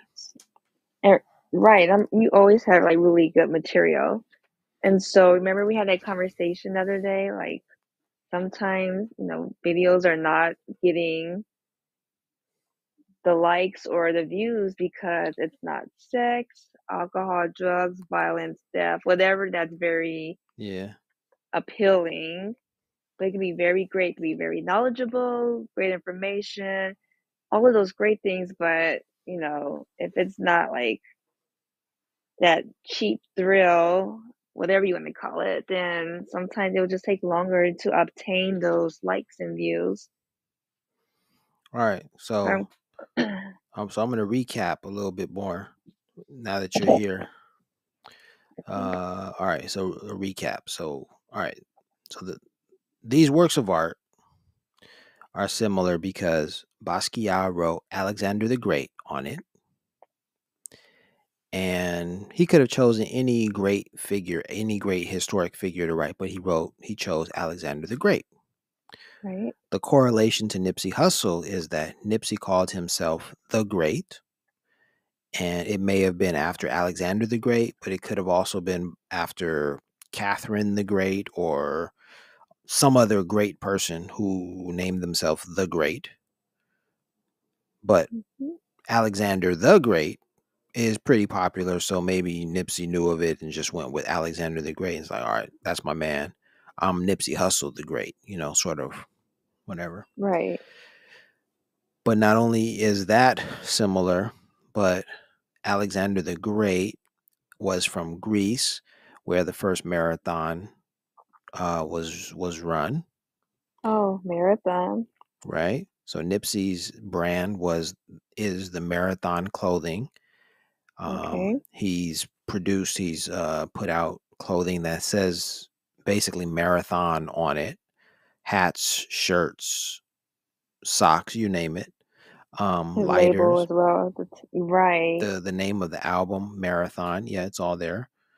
Then um, the legend of uh, Pheidippides is one that says that Pheidippides was the first marathoner, and his goal was to run from the city of Marathon to the city of um, Athens to tell the Athenians that they were victorious. So his message was victory.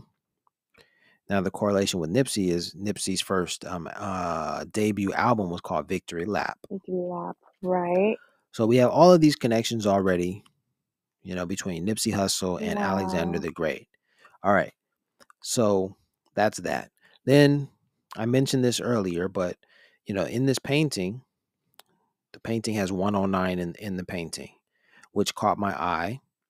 And when I met with Al Diaz, Al said that that's the number that comes from like um like a Dewey Decimal System. It's from a it's from a book. Something like that. So I One said, zero one zero nine one oh nine. Yeah, the number is uh 2004 or 2004 dot 109 dash 235. Oh, you're right. Uh, So yes. so there's more there, but 109 is in there, okay? hmm But my point was, hey, when I saw this painting and I saw 109, it caught it caught my eye because I have a, a long history with the number 109 and it, it caught my eye when I saw it in the painting. So vividly, it was like, oh, look, there's 109 in this painting. Now, for the painting to have the correlations that we're talking about to Nipsey, that's what makes it so bizarre. But then what's even more bizarre and what's, you know, what's miraculous is that I was able to find a picture of Nipsey that almost mirrors the painting. Right. I know. Yeah. Yeah. That's crazy. That part is so crazy. It's like, wait a minute. Now the now Jean-Michel Basquiat's painting is looking more like the picture hmm that was taken. And it couldn't the timeline isn't right because the painting was made in 1982, but then the picture was probably taken in 2013, 14, some Right. sometime or something like this.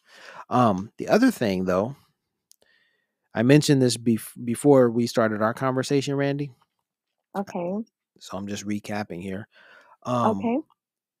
Basquiat's painting was created in 1982, and that was the year that was a really good year for Basquiat's art because like he lived in Los Angeles, in Venice, um, like two to three months at a time. So he would stay in LA for two to three months, go back to New York, stay a month maybe, and then come back to LA and stay for two to three months, some on and off. And it was during that time that he created um, this work of art. So this there's another idea that he created a work of art in Los Angeles where the person that I say is in the picture, like that's where he was born.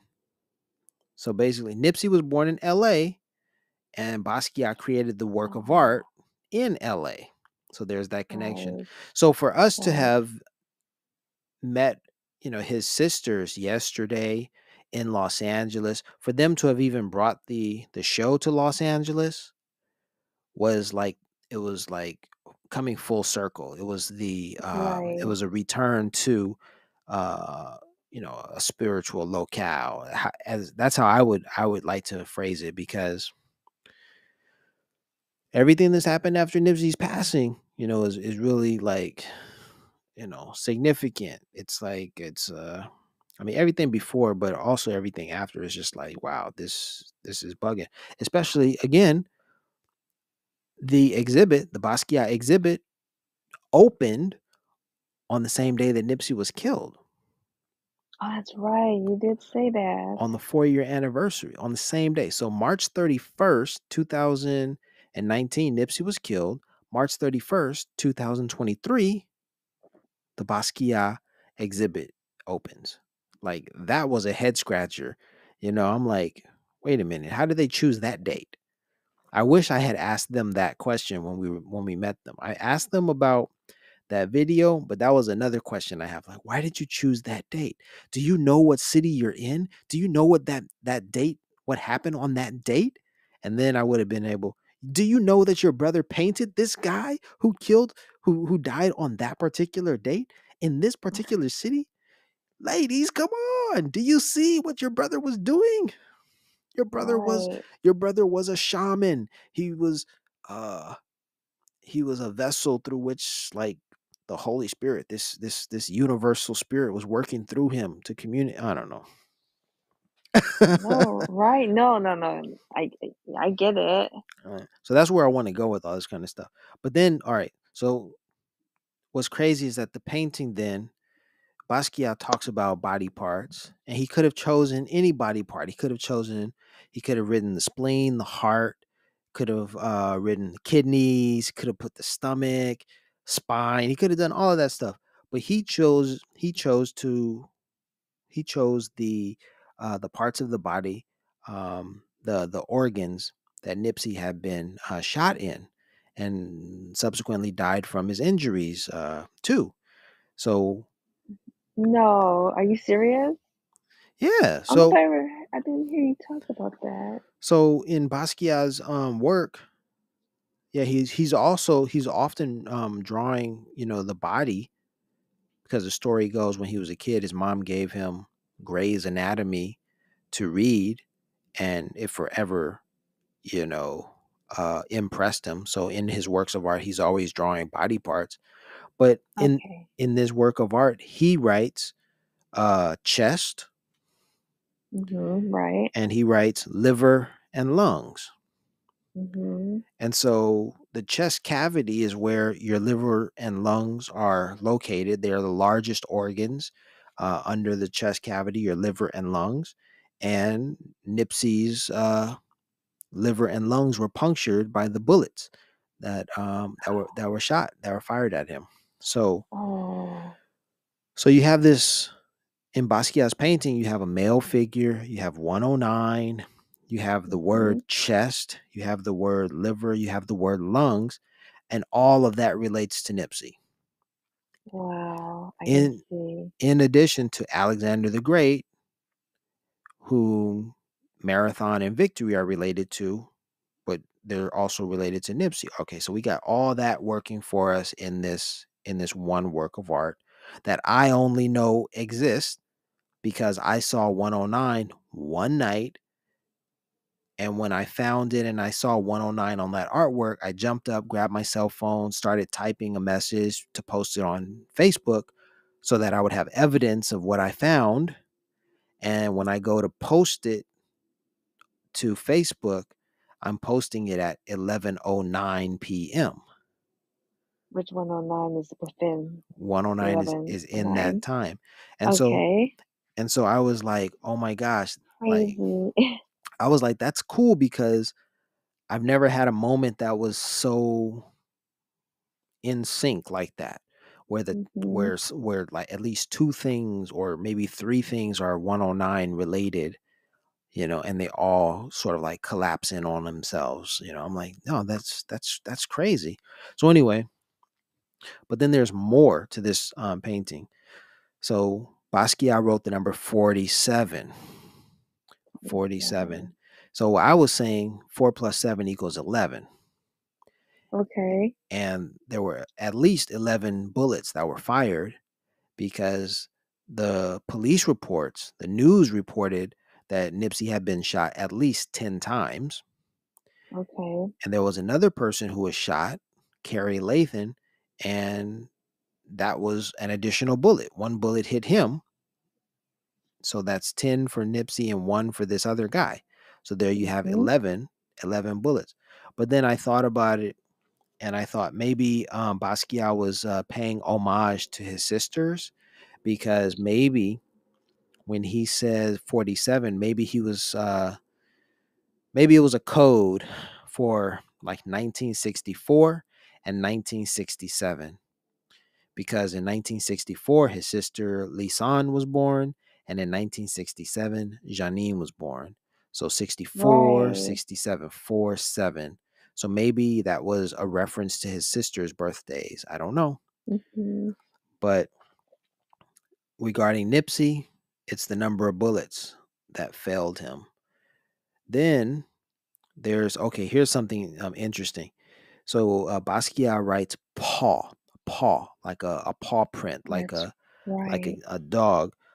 Now, all right, the word dog is the word God backwards.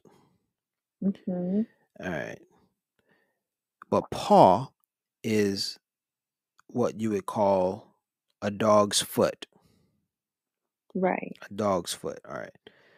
So if we're not talking about a dog and we reverse those words and we're talking about God and we're Mm. talking about God's paw, and what I'm talking about is Nipsey was Jesus. So Nipsey was a son of God. Like I, I don't even want to say stuff like that because that just sounds like so blasphemous and so like crazy to even say. But I mean, that's kind of yeah, that's the Right. idea.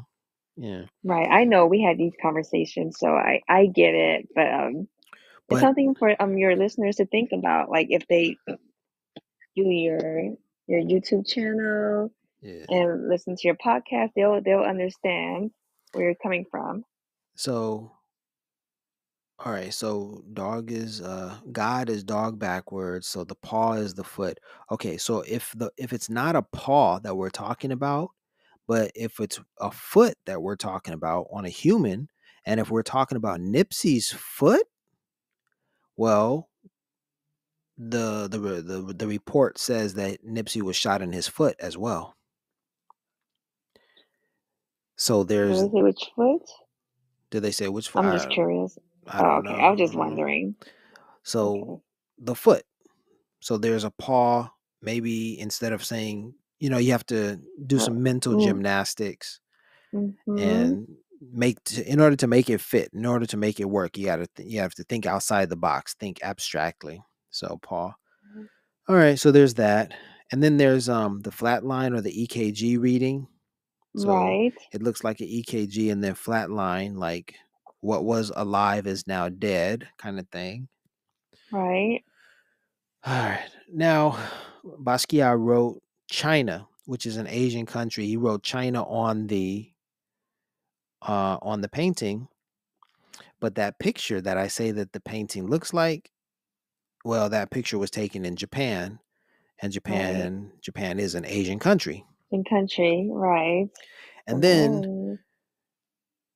Basquiat wrote Haiti, which is his father's country. Right. So I said, all right, well, Basquiat wrote Haiti for his father's country, but what about um, Nipsey's um, Mm. father's country? So I put Eritrea. hmm All right. So I did all of that. I did all of that, put all this stuff together here. Um, there are still some other uh, details that I didn't mention. Still, you have to do a little bit of mental gymnastics with it or whatever, Right. like the FKGD, which looks like fuck God. Right. but that that was actually the name of a that was the ticker symbol, the stock ticker symbol for a company that was released that was uh went public in the 80s, but instead of FKGD for Nipsey, it's God will rise because that's what Ermias's name meant or whatever. hmm All right, so the last thing, something that I noticed about this painting is this. All right. To be a Crip, a member of the Crip gang, right? Somehow like eh, Crips will wear uh, blue bandanas on their heads. Crips are going to, it's like on their mind, everything is blue. hmm It's an obsession, it's compulsion. You know, when they're speaking, they don't say, Crips will, okay, even when spelling words, they will not uh, write the word with the C, uh, C K because CK means Crip killer, and that that Okay. gives that gives power to their enemies. Oh, okay. So there's there's that. Um, so they're very mindful about blue, about the color blue hmm because that's their color. That's that's their gang. That's what they roll with. It's blue, blue on their mind. Okay. Now, hmm after saying all of that, what color did Basquiat paint on the forehead of this male figure in this um in this painting? Blue. Exactly. Wow. A lot of like A lot of connections, correlations, correlations. connections, parallelism, all of that. He didn't he didn't put it red and I mean like everything everything basically points to and links up with Nipsey. So and then there's this um lightning bolt. There's Oh this yeah. there's a lightning bolt in this picture which in other paintings uh Basquiat has uh has uh, painted but when he painted that he wrote Thor as the like uh Mm. well, it's not a Nordic I know. a Nordic god I think Okay. Thor was was some sort of god Very big, strong. yeah Yeah. but the thing about Thor is it didn't originate in like Nordic countries Thor comes from Africa and Thor Oh, I didn't know that. Thor is based upon Shango, the African. Shango? He's a African uh Orisha. Oh, it's not what is, it's who is. Okay. Yeah. And the the the thunderbolt is uh a reflection of uh of Shango's power, his strength. Right. But Wow. so he has this icon of a Yoruban god. He's got the name of a company or the ticker symbol of a company that looks like it's saying, you know, F God. hmm And and the the whole idea that I'm trying to convey is that Nipsey was Jesus. I don't know. It's all of these things are too connected, and you know, it's just like that's that's what I'm. Hold on for a second. Let me let me stop the recording and get back into it. Yeah. So there's a lot. There, yeah. So that's what I see. That's the the perspective. That's what I want other people to to see and to be like, "Oh my gosh, yeah, look, I can I can see it too. For you to see those things, that's very like like it's mind blown. It's it's it's crazy, like in a good way. And um yeah, I guess so what I guess what I've done is I've taken you down the rabbit hole, the rabbit hole. Like come here, come down the rabbit hole and, and look at look at all of these details and and and follow me and and listen because what's what isn't so crazy, what is not crazy about this is like I turned on a video tonight and I was listening to a discussion of some other artist's work. Okay. And I mean, these were professionals. These were people of, you know, you know, standing.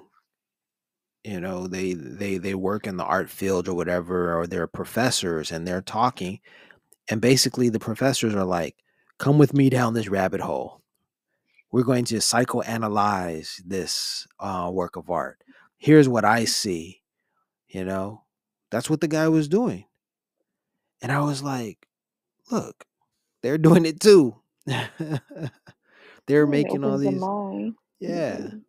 they're making all these connections, and who knows if they're right or not, if they're right Right. or not. But it, But it's what you see, the connections you see, and others may see as well.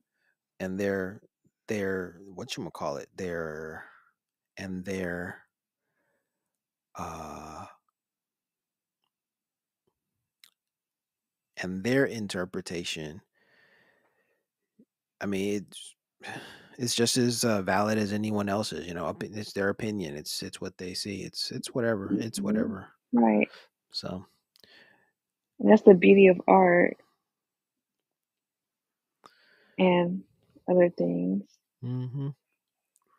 artsy. Janelle asked me to take her to the airport for like got to pick her up at six six fifteen in the morning. Really? Mm-hmm. Oh wow, yeah, yeah, I gotta get early too. Drop off my cousin's wallet at Gary's house.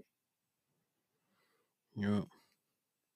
But it was a um it was a fun opportunity. Yeah, I'm just like kicking myself because I'm I'm noticing like some errors in the book, and I'm like, Really? I hope they don't judge me too harshly, and they're like, I'm not reading this, you know. No, I Yeah. think when they have time, they're probably overwhelmed right now. And I think once they get situated, or maybe they already have had a chance to like sit down and like look at it a few, like look through it. But I think someone's gonna read it and like be like, wow, you know, you took the time out to make this book for them. Yeah, I hope And so. Yup, yup, um, yup. So, which I think is pretty cool. Did you see their faces? They were like, wow, they were like so like in awe, like just like for us, like it was pretty cool. I wish I could have recorded it. It was really nice. That's where you were there. I was like, that I was a that know. was very good. No, I didn't see them. Like, Oh, no, it was it was yeah, it was a very it was a very good moment. it was really nice. I, oh, that was it was really special for you.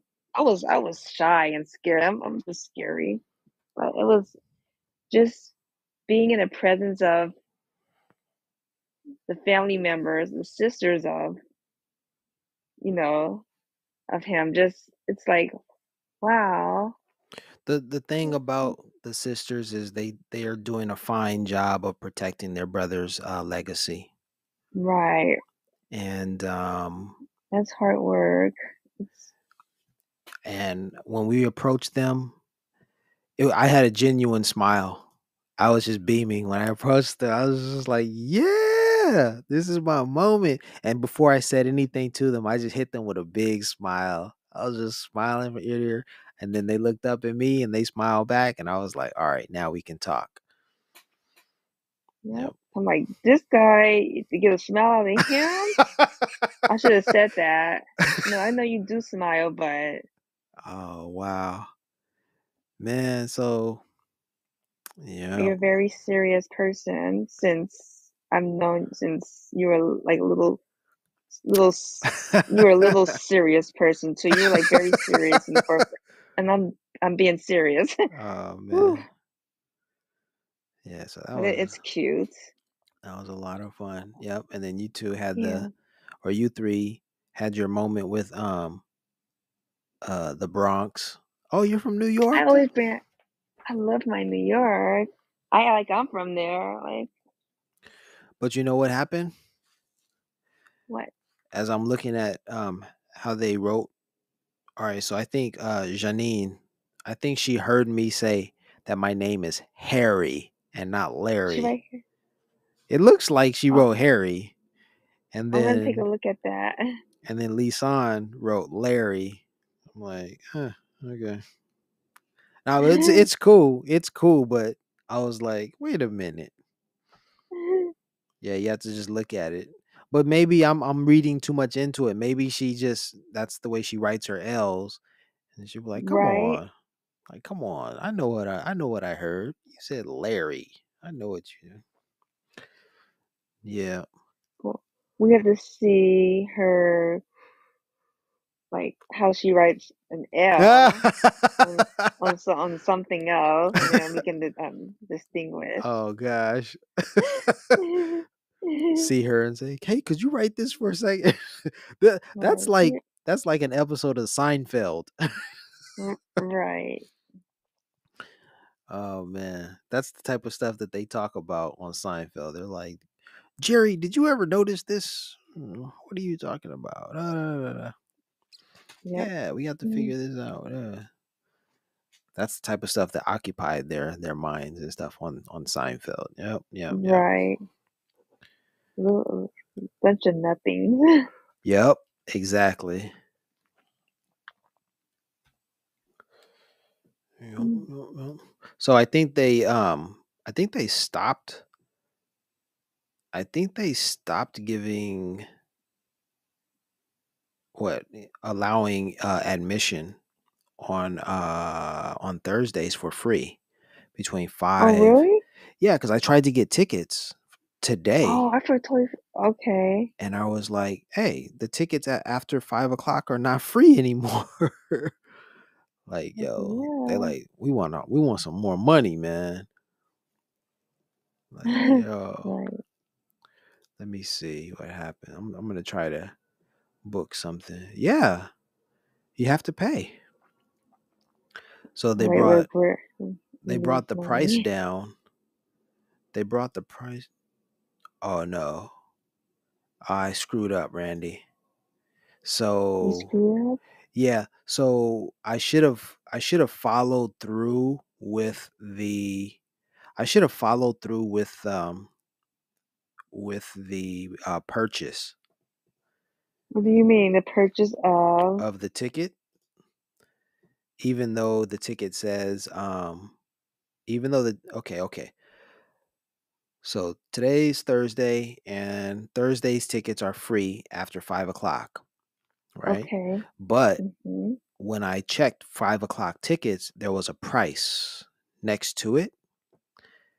So what you have to do is you have to click on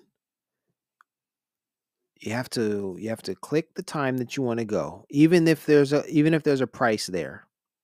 Okay. Even if there's a price, you have to click on it. And then when you go to choose tickets, then it shows as no price. It says zero per person.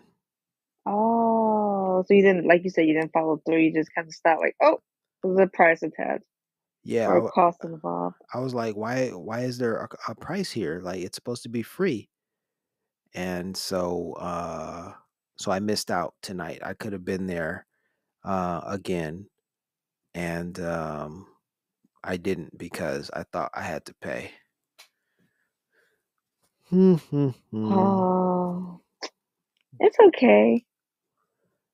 Mm, Well, the thing about it is uh Imani, Nipsey's hmm homie works there and I would have and see I forgot his name when we were there Right. and I could have gone back and taken um I guess I could have taken a, a copy of this book. He'd be like, he'd probably be like, "Oh, this brother again? Another book?"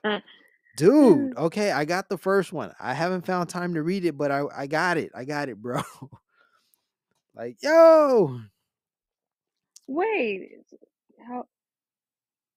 This is not your video. Oh, the King Pleasure video just came. It says, "How are you?" in-" It's this. I thought that was one of your videos. That's so Mhm. interesting. Okay. no, you you subscribe to it, so now you're getting that Y- stuff. yeah. Which is funny how we are just talking about him. So what's cool though is, you know, if if there if the show ends in LA and if they're not going to follow up with anything, if they're going to take a break, you know, and then something different is going to come up, you know, in the future, then I, I have to say it like Randy, we did it. We we were there for the first uh, night, the first day opening. We were there for the uh, the ho- we were there together for the Halloween party, and we were there for Mm. the um the book signing. So and you were there in between, oh yeah, different various events, and you went to the New York one. I mean yeah, like I'm kind of That's your their their number hometown. one their number one fan right now hmm until you know some art student comes along and says not so fast, Mister Wiggs. Like oh okay well yeah, but um yeah it's been it's been a tremendous uh experience learning about the artwork and then like when I talked with the guy, I think his name is Patrick, and he told me you know, he gave me his perspective and he led me down his rabbit hole. He's like, listen, man, right. because the thing about it is he had worked there and for two months he was there and he was like day in and day out, he would see these works of art. And he is a fan of Basquiat, hmm but he said he didn't even see it from that perspective for two months. He had seen the work and he's like, what is Basquiat talking about? And then it it clicked. One day he looked, he did some research, he looked, you know, more carefully at the work, and then he was like, oh my gosh, there it is right there. And it it took him two months. And when I met him and we were talking, he's like, all right, look over here, and there you'll see it and it the image just jumped out at me and I was like, "Ooh, that's spook that's spooky, man." like I you know, cuz I was looking at it saying, "What the hell was Basquiat talking about?" And it just looks like scribbles. Right. But when you compare it to what he was actually talking about, what, you know, what words he's written there, then it's like there it is. It's right there in plain sight, man. Yep.